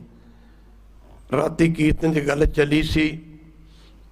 ਜਦੋਂ ਮਹਾਂਪੁਰਸ਼ਾਂ ਦਾ ਸਰੀਰ ਜਲ ਪ੍ਰਵਾਹ ਕੀਤਾ ਜਾਣਾ ਸੀ, ਉਹ ਬਕਸਾ ਮਾਫ ਕਰਨਾ ਗੁਰੂ ਕੀ ਸੰਗ, ਜਿਸ ਵਿੱਚ ਮਹਾਂਪੁਰਸ਼ਾਂ ਦਾ ਸਰੀਰ ਸੀ, ਸਾਢੇ ਛੇ ਛੇ ਮਣ ਦੇ ਭਾਰੇ ਲੋਹੇ ਦੇ ਗੋਲੇ ਗੁਰੂ ਕੀ ਸੰਗ ਚਾਰਾਂ ਸਾਈਡਾਂ ਤੇ ਬੰਨੇ ਸਨ। ਮੇਰੇ ਆਪਣੀ ਅੱਖੀ ਦੇਖੀ ਗੱਲ ਆ। ਕਦੀ ਧੁੱਪ ਪੈਂਦੀ ਸੀ, ਕਦੇ ਬਾਰਿਸ਼। ਕਿਤੇ ਮੌਸਮ ਸਾਫ਼ ਹੁੰਦਾ ਸੀ, ਕਿਤੇ ਹਵਾ ਚੱਲਦੀ ਸੀ, ਕਿਤੇ ਕੜਕਦੀ ਧੁੱਪ ਪੈਂਦੀ ਸੀ। ਮਾਨੋ ਪੌਣ ਦੇਵਤੇ ਵਰਗੇ, ਸੂਰਜ ਭਗਵਾਨ ਵਰਗੇ ਦੇਵਤੇ ਤੇ ਇੰਦਰ ਵਰਗੇ ਦੇਵਤੇ ਵੀ ਰੋ ਰਕੇ ਰੁਦਨ ਕਰ ਰਹੇ ਸਨ। 72 ਸੰਤ ਉਸ ਕਿਸ਼ਤੀ ਦੇ ਵਿੱਚ ਸਨ, ਉਸ ਵਿਹੜੇ ਦੇ ਵਿੱਚ ਸਨ, ਜਿਹਦੇ ਵਿੱਚ ਮਹਾਂਪੁਰਸ਼ਾਂ ਦਾ ਗੁਰੂ ਕੀ ਸੰਗਤ ਮੁੱਕਦੀ ਗੱਲ ਕੀ ਸ਼ਰੀਰ ਸੀ। ਕਾਇਦਾ ਕਾਨੂੰਨ ਇਹ ਕਹਿੰਦਾ ਸਾਧ ਉਸ ਸਮੇਂ ਧਿਆਨ ਦੇਣਾ ਪਵੇਗਾ, ਪੰਜਾਬ ਦਾ ਚੀਫ ਮਿਨਿਸਟਰ ਗਿਆਨੀ ਜੈਲ ਸਿੰਘ ਸੀ। ਇਹਦਾ ਹੈਲ- ਹੈਲੀਕਾਪਟਰ ਦੇ ਰਾਹੀਂ ਨਗਲ ਜਾ ਕੇ ਜ- ਹੈਲੀਕਾਪਟਰ ਉਤਾਰਨਾ, ਫਿਰ ਉਥੋਂ ਇਹਦਾ ਕਿਸ਼ਤੀ ਦੇ ਵਿੱਚ ਬੈਠ ਕੇ ਉਸ ਬੇੜੇ 'ਚ, ਜਿਹਦੇ 'ਚ ਮਹਾਂਪੁਰਸ਼ਾਂ ਦਾ ਸ਼ਰੀਰ ਸੀ ਜਾਣਾ, ਗਿਆਨੀ ਜੈਲ ਸਿੰਘ ਦੇ ਬੋਲ ਸਨ। ਗੁਰੂ ਨਾਨਕ ਦੀ ਸੰਗਤ ਹੈ। ਬਰਮਾ ਨੇ ਚਾਰ ਵੇਦ ਉਚਾਰਨ ਕੀਤੇ ਸਨ। ਸੰਤ ਈਸ਼ਰ ਸਿੰਘ ਰਾੜੇ ਵਾਲੇ ਪੰਜਵਾਂ ਵੇਦ ਸਨ। ਪੰਜਵਾਂ ਵੇਦ ਸਨ। ਪਰ ਅੱਜ ਸੰਤ ਬਾਬਾ ਈਸ਼ਰ ਸਿੰਘ ਰਾੜਾ ਸਾਹਿਬ ਵਾਲਿਆਂ ਦੇ ਸੱਚਖੰਡ ਜਾਣ ਤੇ ਹਿੰਦੁਸਤਾਨ ਤਾਂ ਕੀ ਦੁਨੀਆ ਦੇ ਵਿੱਚੋਂ ਰੂਹਾਨੀਅਤ ਦੀ ਦੁਨੀਆ ਖਤਮ ਹੋ ਗਈ ਹੈ। ਗੁਰੂ ਕੀ ਸੰਗਤ, ਖੈਰ, ਫਿਰ ਵੀ ਕਈ ਗੱਲਾਂ ਨਹੀਂ ਕਰਨ ਵਾਲੀਆਂ। ਜਦੋਂ ਮਹਾਂਪੁਰਸ਼ਾਂ ਦਾ ਸਰੀਰ ਜਿਹੜੇ ਬਕਸੇ ਦੇ ਵਿੱਚ ਸੀ, ਜਿਸ ਜਦੋਂ ਉਹ ਬਕਸਾ ਕੱਢ ਕੇ ਸਾਧ ਸੰਗਤ ਜੀ ਦਰਿਆ ਸਤ- ਸਤਲੁਜ ਦੇ ਵਿੱਚ। ਜਦੋਂ ਰੱਖਿਆ ਗਿਆ ਸੂਲ ਤੇ ਕਹਿੰਦਾ ਕਿ ਬਕਸਾ ਇੱਕੋ ਵਰਗਾ ਜਾਣਾ ਚਾਹੀਦਾ ਸੀ ਕਿ ਚਾਰੇ ਪਾਸੇ ਵੇਟ ਇੱਕ ਬਰਾਬਰ ਸੀ। ਜਦੋਂ ਉਹ ਬਕਸਾ ਸੰਗਤਾਂ ਜਿੱਥੇ ਤੱਕ ਕਿਸੇ ਦੀ ਨਜ਼ਰ ਜਾਂਦੀ ਸੀ, ਕੋਈ ਜਗ੍ਹਾ ਖਾਲੀ ਨਹੀਂ ਸੀ ਮਿਲਦੀ। ਪਰ ਜਦੋਂ ਮਹਾਂਪੁਰਸ਼ਾਂ ਦੇ ਚਰਨ ਵਾਲ ਚਰਨਾਂ ਵਾਲੇ ਪਾਸਿਓਂ ਬਕਸਾ ਕੋਈ ਨੀਚੇ ਨੂੰ ਗਿਆ, ਚਾਰ ਗੇੜੇ ਕੱਢੇ ਮਹਾਂਪੁਰਖਾਂ ਦੇ, ਇਸ ਤਰ੍ਹਾਂ ਹੱਥ ਸਨ।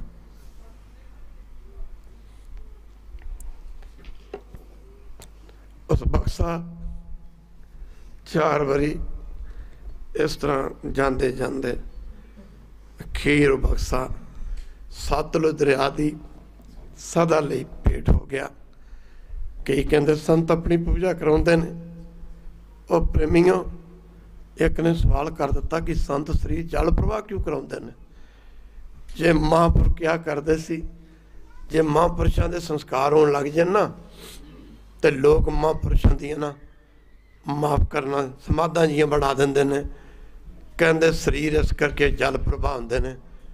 ਸਮੁੰਦਰ ਦੇ ਵਿੱਚ ਜਾਂ ਦਰਿਆ 'ਚ ਕਿਹੜਾ ਉੱਥੇ ਮਹਾਂਪੁਰਖਾਂ ਦੀ ਯਾਦ ਬਣਾ ਦੂਗਾ ਉਹ ਆਪ ਸਾਰੀ ਜ਼ਿੰਦਗੀ ਗੁਰੂ ਗ੍ਰੰਥ ਸਾਹਿਬ ਨਾਲ ਜੁੜੇ ਰਹੇ।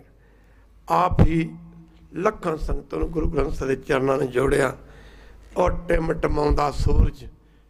ਮਾਫ ਕਰਨਾ, ਬਹੁਤ ਘੱਟ ਲੋਕਾਂ ਨੂੰ ਪਤਾ ਕਿ ਰਾੜਾ ਸਾਹਿਬ ਦਾ ਨਾਮ ਕਰਮਸਰ ਰਾੜਾ ਸਾਹਿਬ ਆ। ਸਾਧ ਸੰਗਤ ਜੀ, ਬਾਬਾ ਤਸਮਰ ਦੇ ਨਾਂ ਤੇ ਹਾਲਾਂਕਿ ਉਹਨਾਂ ਦੇ ਚਰਨੀ ਲੱਗੇ, ਉਹਨਾਂ ਦੇ ਨਾਂ ਤੇ ਸਥਾਨ ਕਿਉਂ ਨਹੀਂ ਬਣਾਇਆ? ਅਸਲ ਵਿੱਚ ਬਾਬਾ ਈਸ਼ਰ ਸਿੰਘ ਰਾੜੇ ਵਾਲੇ ਸੰਤ ਬਾਬਾ ਕਰਮ ਸਿੰਘ ਹੋਤੀ ਮਰਦਾਨ ਵਾਲਿਆਂ ਦਾ ਅਵਤਾਰ ਸਨ ਖਾਲਸਾ ਜੀ। ਜਦੋਂ ਬਾਬਾ ਕਰਮ ਸਿੰਘ ਹੋਤੀ ਮਰਦਾਨ ਵਾਲਿਆਂ ਦਾ ਅੰਤਮ ਸਮਾਂ ਆਇਆ, ਪੋਠੋਹਾਰ ਦੇ ਇਲਾਕੇ ਦੀ ਬੋਲੀ ਹੈ।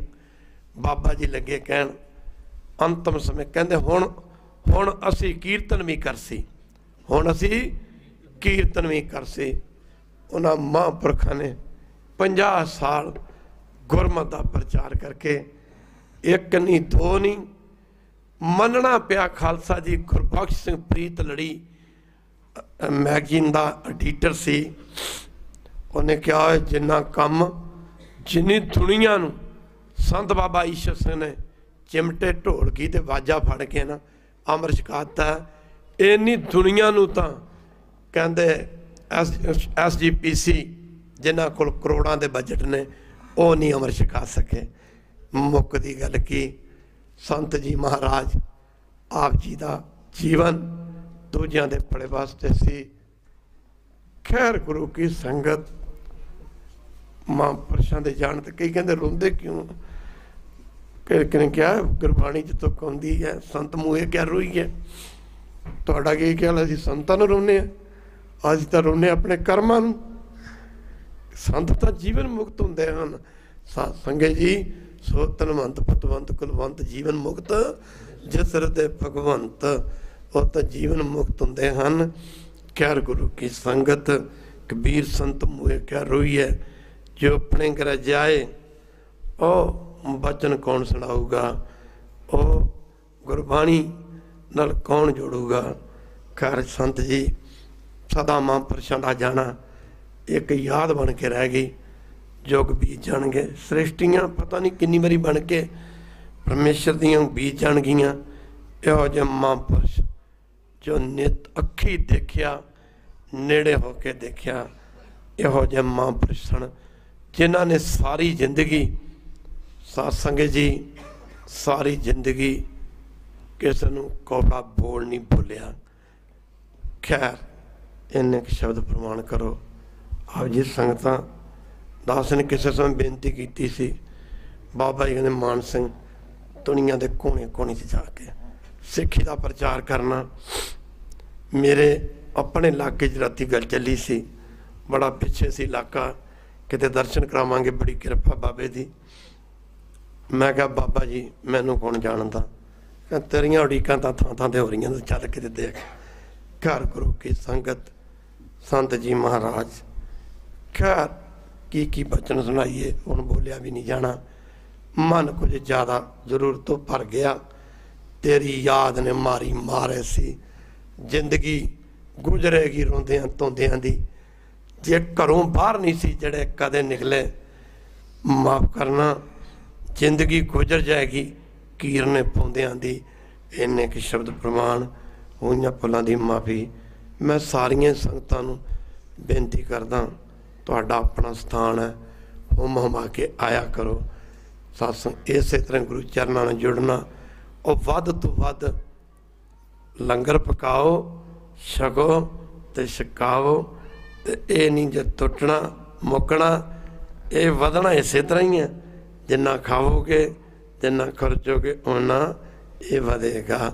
ਖੈਰ, ਮੈਂ ਅੱਜ ਸੰਤ ਜੀ ਮਹਾਰਾਜ ਜੀ ਦੇ ਇਸ ਬਰਸੀ ਸਮਾਗਮ ਤੇ ਅੱਜ ਦੇ ਇਸ ਯਾਦਗਾਰ ਸਮਾਗਮ ਤੇ ਮੈਂ ਸਾਰੀਆਂ ਹੀ ਸੰਗਤਾਂ ਦਾ ਧੰਨਵਾਦ ਕਰਦਾ।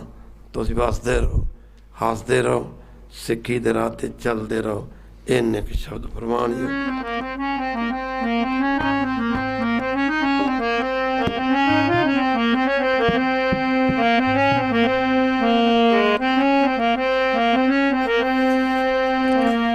ਕਲੀ ਮਹੱਲਾ ਤੀਜਾ ਆਨੰਦ ਕੁੰਕਾਰ ਪ੍ਰਸਾਦ।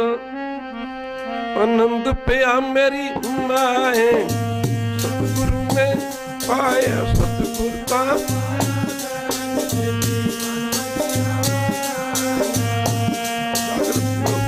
ਵਾਰ ਪਰੀਆਂ ਸਬਦ ਗਾਉਣ ਆਈਆਂ ਸੰਤੋ ਤਕਾਵੋ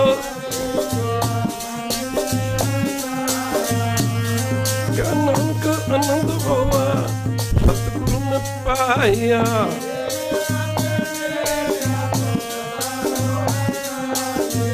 ਔਰ ਨਰ ਹੋਤ ਮਨ ਮੇਰੇ ਦੁੱਖ ਸਭ ਵਿਤਾਰਨਾ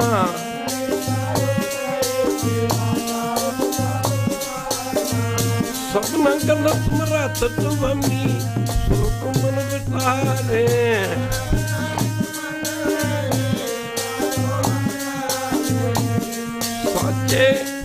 ਸਈਫਾਂ ਕਿਉਂ ਨਹੀਂ ਕਰਤੇ ਰਹਿ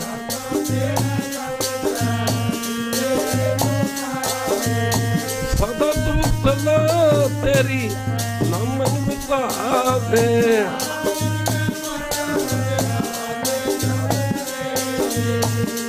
ਨਾਨਕ ਸੱਚੇ ਸਾਹਿਬ ਕਿਉਂ ਨਹੀਂ ਕਰਤੇ ਰਹਿ ਸੱਚਾ ਨੰਦਰਾ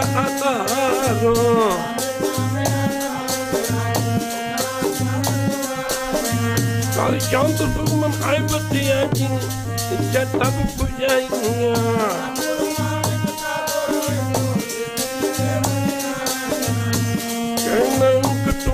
संत संत पियारो सचा नम्र आधारो बजे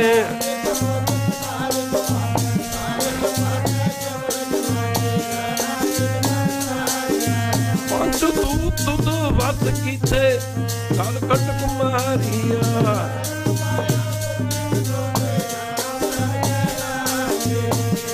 ਨਾਨਕ ਤੇ ਚੁੱਪ ਹੋਆ ਅਨਹਦ ਵਾਜੇ।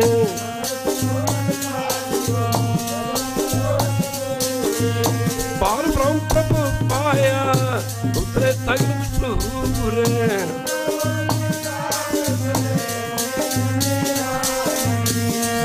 ਸਾਧਨ ਭੇ ਸਤੇ ਪੂਰੇ ਗੁਰਤ ਜਾਣੀ। ਬਿਨ ਅੰਤ ਨਾਨਕ ਗੁਰੂ ਚਰਨ ਲਾਗੇ ਵਾਜੇ ਅਨੰਤੁਰਤ ਲੋਕ।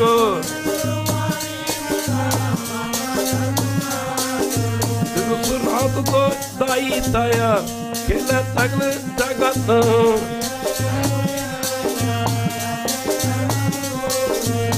ਕਰਮੀ ਆਪੋ ਆਪਣੀ ਗਿਰੜ ਕਦੂਰ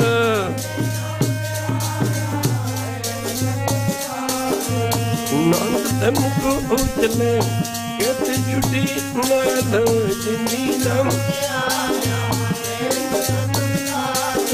ਨਾਨਕ ਤੇ ਮੁਖ ਉਜਲੇ ਕਿਤ ਛੁਟੀ ਨਾਲ ਫੁੱਲੋ ਵਾਹਿਗੁਰੂ ਜੀ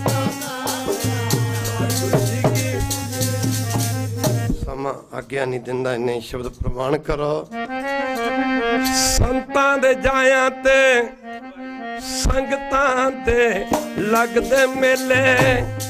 ਸੰਤਾਂ ਦੇ ਜਾਇਆਂ ਤੇ ਉਹ ਸੰਗਤਾਂ ਦੇ ਲੱਗਦੇ ਮੇਲੇ। ਸੰਤਾਂ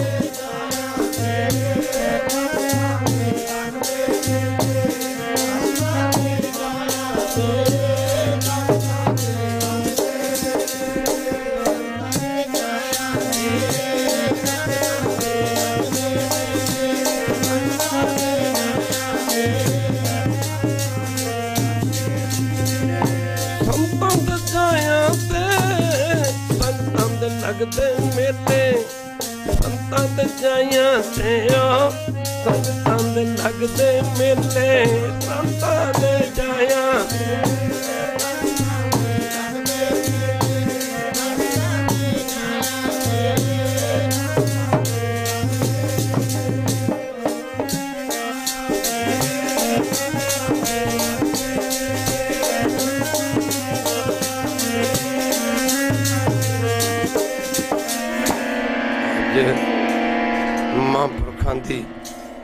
ਪਾਵਨ ਪੁੱਤਰ ਯਾਦ। ਰਾਤੀ ਰਹਿਣ ਸਬਾਈ ਰਾੜਾ ਸਾਹਿਬ ਸੀ। ਉੱਥੇ ਵੀ ਲੱਖਾਂ ਦਾ ਕੱਟ ਸੀ। ਅੱਗੋਂ ਅੰਦਾਜ਼ਾ ਲਾ ਲਿਓ, ਉਹ ਮਹਾਂਪੁਰਖ ਕਿਹੋ ਜਿਹੇ ਹੋਣਗੇ। ਜਿਵੇਂ ਇਹ ਕਹਿ ਰਿਹਾ ਨਾ ਕਿ ਸੰਤਮਾਰ ਦੀ ਯਾਦ ਦੇ ਵਿੱਚ, ਸਾਲ ਦੇ ਵਿੱਚ ਉਹਨਾਂ ਦੀ ਹਜ਼ਾਰ ਬਰਸੀ ਥਾਂ ਥਾਂ ਤੇ ਮਨਾਈ ਜਾਂਦੀ ਹੈ। ਇਹ ਵੀ ਗੱਲ ਥੋੜੀ ਹੋਵੇਗੀ ਖਾਲਸਾ ਜੀ। ਇਹ ਵੀ ਗੱਲ ਥੋੜੀ ਹੋਵੇਗੀ। ਇੱਥੇ ਰਾੜਾ ਸਾਹਿਬ ਤੋਂ ਬਾਅਦ ਪਹਿਲੀ ਸਤੰਬਰ ਨੂੰ ਸਾਸੰਗ ਜੀ ਤਬਲਾਨ ਸਾਹਿਬ ਪਟਿਆਲੇ ਦੇ ਦੱਖਣ ਵਾਲੇ ਪਾਸੇ ਪੈਂਦਾ। ਉਦੋਂ ਅੱਗੇ ਭੇਵੇ, ਘੱਟੋ ਘੱਟ ਵੀ ਮਹਾਂਪੁਰਖਾਂ ਦੀ ਬਰਸੀ ਤੇ ਘੱਟੋ ਘੱਟ ਵੀ 10-15 ਲੱਖ ਬੰਦੇ ਦਾ ਇਕੱਠ ਹੁੰਦਾ। ਉਦੋਂ ਅੱਗੇ ਰਤਵਾੜਾ ਸਾਹਿਬ ਵਾਲੇ, ਉਦੋਂ ਅੱਗੇ ਯਰਗ ਪੈਂਦਾ। ਪਤਾ ਨਹੀਂ ਕਿੰਨੀਆਂ ਕਥਾਵਾਂ ਨੇ। ਪੰਜ ਸੱਤ ਥਾਂ ਤੇ ਤੇ ਅਸੀਂ ਵੀ ਮਹਾਂਪੁਰਸ਼ਾਂ ਦੀ ਬਰਸੀ ਨਿਊਯਾਰਕ ਮਨਾਈ ਗਈ ਪਿਛਲੇ ਤੋਂ ਪਿਛਲੇ ਹਫ਼ਤੇ। ਫਿਰ ਇੱਥੇ ਕੈਲੀਫੋਰਨੀਆ ਉੱਥੇ ਮਨਾ ਕੇ ਆਏ। ਹੁਣ ਸੰਗਤਾਂ ਫਿਰ ਇੰਡੀਆਨਾ ਵਿਖੇ ਮਨਾ ਰਹੀਆਂ ਨੇ। ਇੰਗਲੈਂਡ ਵਿੱਚ ਇੱਥੇ ਵੀ ਥਾਂ ਥਾਂ ਤੇ। ਇੱਥੋਂ ਪਤਾ ਲੱਗਦਾ ਬੜੇ ਬੜੇ ਮਹਾਂਪੁਰਖਾਂ ਦੇ ਸਥਾਨ। ਜਿਵੇਂ ਮਹਾਂਪੁਰਖ ਦੁਨੀਆ ਤੋਂ ਗਏ, ਉਹ ਸਥਾਨ ਵੀ ਨਾਲ ਹੀ ਬੰਦ ਹੋ ਗਿਆ, ਖਾਲਸਾ ਜੀ। ਪਰ ਮਹਾਂਪੁਰਖ ਰਾੜੇ ਵਾਲੇ, ਜਿਨ੍ਹਾਂ ਦੇ ਜਾਣ ਤੋਂ ਬਾਅਦ ਘੱਟੋ ਘੱਟ ਨਵੇਂ ਸਿਰੇ 500 ਸਥਾਨ ਬਣਿਆ ਹੋਣਾ ਖਾਲਸਾ ਜੀ। ਔਰ 500 ਸਥਾਨ ਜਿੱਥੇ ਕੋਈ ਅਗਰਾਈ ਨਹੀਂ, ਜਿੱਥੇ ਕੋਈ ਗਜਾ ਨਹੀਂ, ਜਿੱਥੇ ਕੋਈ ਡਾਲੀ ਨਹੀਂ, ਜਿੱਥੇ ਸਾਰਿਆਂ ਹੀ ਥਾਵਾਂ ਤੇ ਮਹਾਂਪੁਰਸ਼ਾਂ ਦੀ ਇੰਨੀ ਕਿਰਪਾ, ਗੁਰੂ ਗ੍ਰੰਥ ਸਾਹਿਬ ਦੀ ਕਿਰਪਾ ਨਾਲ ਸਾਰੇ ਮਹਾਂਪੁਰਖ ਖੇਤੀ ਪੱਤਾ ਕਰਦੇ ਨੇ, ਜਿੱਥੇ ਸਾਰੇ ਹੀ ਸਥਾਨਾਂ ਤੇ ਸੇਵਾ ਤੇ ਸਿਮਰਨ ਤੇ ਜ਼ੋਰ ਦਿੱਤਾ ਜਾਂਦਾ ਇਹਨੇ ਕਿ ਸ਼ਬਦ ਪ੍ਰਵਾਨ ਹੋਈਆਂ ਭੁੱਲਾਂ ਦੀ ਮਾਫੀ, ਇਹ ਤੁਹਾਡਾ ਆਪਣਾ ਘਰ ਹੈ। ਆਪ ਜੀ ਸਾਰੇ ਹੁਮਾ ਕੇ ਆਇਆ ਕਰੋ। ਮੈਨੂੰ ਤਾਂ ਲੱਗਦਾ ਤੇ ਸਾਧ ਸੰਗਤ ਜੀ, ਰਾਤੀ ਵੀ ਦਾਸ ਨੇ ਕੀਰਤਨ ਦੀ ਗੱਲ ਕਹੀ ਸੀ। ਮੁੱਕ ਹੀ ਨਹੀਂ ਸਕਦਾ ਜੇ ਗੁਰੂ ਨਾਨਕ ਦੇ ਘਰ ਮੁੱਕ ਗਿਆ ਤੇ ਫਿਰ ਸਾਡੇ ਘਰ ਕਿੱਥੋਂ ਆਉਣਾ। ਗੁਰੂ ਨਾਨਕ ਦਾ ਦਿੱਤਾ ਤਾਂ ਅਸੀਂ ਖਾਂਦੇ ਆ ਤੂੰ ਦਾਤਾ ਦਤਾਰ ਜਿਸ ਦਾ ਦਿੱਤਾ ਖਾਮਣਾ ਆਪ ਜੀ ਨੇ ਸਾਰਿਆਂ ਨੇ, ਇਸੇ ਤਰ੍ਹਾਂ ਹਾਜ਼ਰੀ ਭਰਨੀ। ਸਮਾਂ ਭਾਵੇਂ ਨਹੀਂ ਸੀ, ਅਮਰੀਕਾ ਕਾਫੀ ਦਿਨ ਲੱਗ ਗਏ। ਉੱਥੇ ਵੀ ਸਤਸੰਗ ਜਮਾ ਪੁਰਸ਼ਾਂ ਦੀ ਯਾਦ ਕਿੰਨੇ ਸਥਾਨ ਨੇ। ਇੱਥੇ ਅਮਰੀਕਾ, ਕੈਨੇਡਾ, ਹੋਰ ਥਾਂ ਥਾਂ ਤੇ ਇਹ ਸਾਰੀ ਉਹਨਾਂ ਦੀ ਆਪਣੀ ਕਿਰਪਾ, ਆਪਣੀ ਬਖਸ਼ਿਸ਼ ਹੈ। ਖੈਰ ਇਹਨੇ ਕਿ ਸ਼ਬਦ ਪ੍ਰਵਾਨ ਸੰਤ ਦੀ ਕਮਾਈ ਦਾ ਸੰਤ ਦੇ ਜਾਣ ਤੋਂ ਬਾਅਦ ਪਤਾ ਲੱਗਦਾ। ਬਾਅਦ ਪਤਾ ਲੱਗਦਾ ਵੀ ਜਿਵੇਂ ਕਿ ਪਿਓ, ਕੋਈ ਪਿਓ ਜਾਂਦਾ ਨਾ, ਫਿਰ ਪਤਾ ਲੱਗਦਾ ਵੀ ਬੱਚਿਆਂ ਵਾਸਤੇ ਕਿੰਨੀ ਕੁ ਬਣਾ ਗਿਆ। ਮਾਫ ਕਰਨਾ ਪਿਓ, ਦਾਦੇ ਦਾ ਖੋਲ, ਡੱਠਾ ਖਜ਼ਾਨਾ ਤਾਂ ਮੇਰੇ ਮਨ ਪਿਆ ਨਦਾਨਾ, ਇੰਨੇ ਸ਼ਬਦ ਪ੍ਰਵਾਨ ਹੋਈਆਂ। ਗਲਤੀਆਂ ਦੀ ਮਾਫੀ, ਭੁੱਲਾਂ ਦੀ ਮਾਫੀ, ਮਾਤਾ ਸਾਹਿਬ ਕੌਰ ਦਾ ਪ੍ਰਗਾਸ਼ ਦਿਵਸ, ਖਾਲਸੇ ਦੀ ਮਾਂ, ਮਾਤਾ ਸਾਹਿਬ ਕੌਰ ਜਿਹਦੀ ਗੋਦੀ 'ਚ ਕਲਗੀਧਰ ਪਾਤਸ਼ਾਹ ਨੇ ਸਾਨੂੰ ਸਾਰਿਆਂ ਨੂੰ ਪਾਇਆ, ਉਹਨਾਂ ਦਾ ਪ੍ਰਕਾਸ਼ ਦਿਵਸ ਪਹਿਲੀ ਨਵੰਬਰ ਵਾਲੇ ਦਿਨ ਸੱਚਖੰਡ ਹਜ਼ੂਰ ਸਾਹਿਬ ਵਿਖੇ ਮਾਤਾ ਸਾਹਿਬ ਕੌਰ ਦੇ ਸਥਾਨ ਤੋਂ ਨਗਰ ਕੀਰਤਨ ਸ਼ੁਰੂ ਕਰਕੇ ਤੇ ਪਿਤਾ ਦੇ ਸਥਾਨ ਤੇ ਲਿਆ ਕੇ ਸਮਾਪਤੀ ਕੀਤੀ ਜਾਏਗੀ 28 29 30 ਤਿੰਨ ਦਿਨ ਦੇ ਕੀਰਤਨ ਲਗਾਤਾਰ। ਦਿਨੇ ਵੀ ਕੀਰਤਨ, ਰਾਤ ਨੂੰ ਵੀ ਕੀਰਤਨ ਲਗਾਤਾਰ ਕੀਰਤਨ ਜਿੱਥੇ ਹੋਣਗੇ। 13.5 ਕਿਲੋਮੀਟਰ ਦਾ ਰਾਹ ਪੈਂਦਾ ਮਾਤਾ ਸਾਹਿਬ ਕੌਰ ਦੇ ਸਥਾਨ ਤੋਂ ਗੁਰੂ ਗੋਬਿੰਦ ਸਮਾਰ ਦਾ ਪਵਿੱਤਰ ਸਥਾਨ ਸੱਚਖੰਡ ਹਜ਼ੂਰ ਸਾਹਿਬ, ਅਵਚਲ ਨਗਰ। 13.5 ਕਿਲੋਮੀਟਰ ਦੇ ਅੰਦਰ ਨਾ ਇੱਕ ਇੰਚ ਵੀ ਜਗ੍ਹਾ ਅਸੀਂ ਨਹੀਂ ਛੱਡਣੀ ਗੁਰੂ ਦੀ ਕਿਰਪਾ ਨਾਲ। ਇਹ ਗੱਲ ਮਾਣ ਦੀ ਨਹੀਂ। ਮਾਣ ਮਾੜਾ ਹੈ। ਮਾਣ ਕਾਲ ਜਾਂਦਾ ਮਾਣ ਧਾਰ ਜਾਂਦਾ। ਇੱਕ ਵਾਰੀ ਕਹਿ ਦਿਓ ਬੈਰ ਮਾਣ ਗਾਲ ਜਾਂਦਾ, ਮਾਣ ਤਾਰ ਜਾਂਦਾ। ਜੇ ਮਾਣ ਆਪਣੇ ਦੇ ਕਰ ਲੋ ਮਾਣ ਗਲੇ ਬੋ ਮੁਨੀਵਰਾਂ, ਮਾਣ ਗਲੇ ਬੋ ਮੁਨੀਵਰਾਂ, ਮਾਣ ਸਭਨ ਕੋ ਖਾਏ। ਇੱਕ ਮਾਣ ਇਹ ਵੀ ਹੈ ਜੀ, ਜਾ ਤੂੰ ਮੇਰੇ ਵੱਲ ਹੈ, ਜਾ ਤੂੰ ਮੇਰੇ ਵੱਲ ਹੈ ਤਾਂ ਕਿਆ ਮੁਸ਼ੰਦਾ ਤੁਧ ਸਭ ਕੁਝ ਮੈਨੂੰ ਸੌਂਪਿਆ, ਜਾ ਤੇਰਾ ਬੰਦਾ ਸਤਿਗੁਰ ਦੀ ਕਿਰਪਾ ਨਾਲ 13.5 ਕਿਲੋਮੀਟਰ ਦਾ ਜਿਹੜਾ ਰਸਤਾ ਹੈ ਨਾ, ਸਾਰੇ ਦਾ ਸਾਰਾ ਇੱਥੇ ਪਤਾ ਨਹੀਂ ਗੁਰੂ ਦੀ ਕਿਰਪਾ ਨਾਲ ਇੰਨੇ ਕ ਲੰਗਰ ਲਾਏ ਜਾਣੇ ਨੇ ਕਿ ਜਗ੍ਹਾ ਹੀ ਨਹੀਂ ਮਿਲਣੀ ਕਿ ਲੰਗਰ ਲਾਈਏ ਕਿੱਥੇ। ਕਿਉਂਕਿ ਵੱਡਿਆਂ ਦੀ ਕਮਾਈ ਵੱਡੀ ਹੁੰਦੀ ਆ।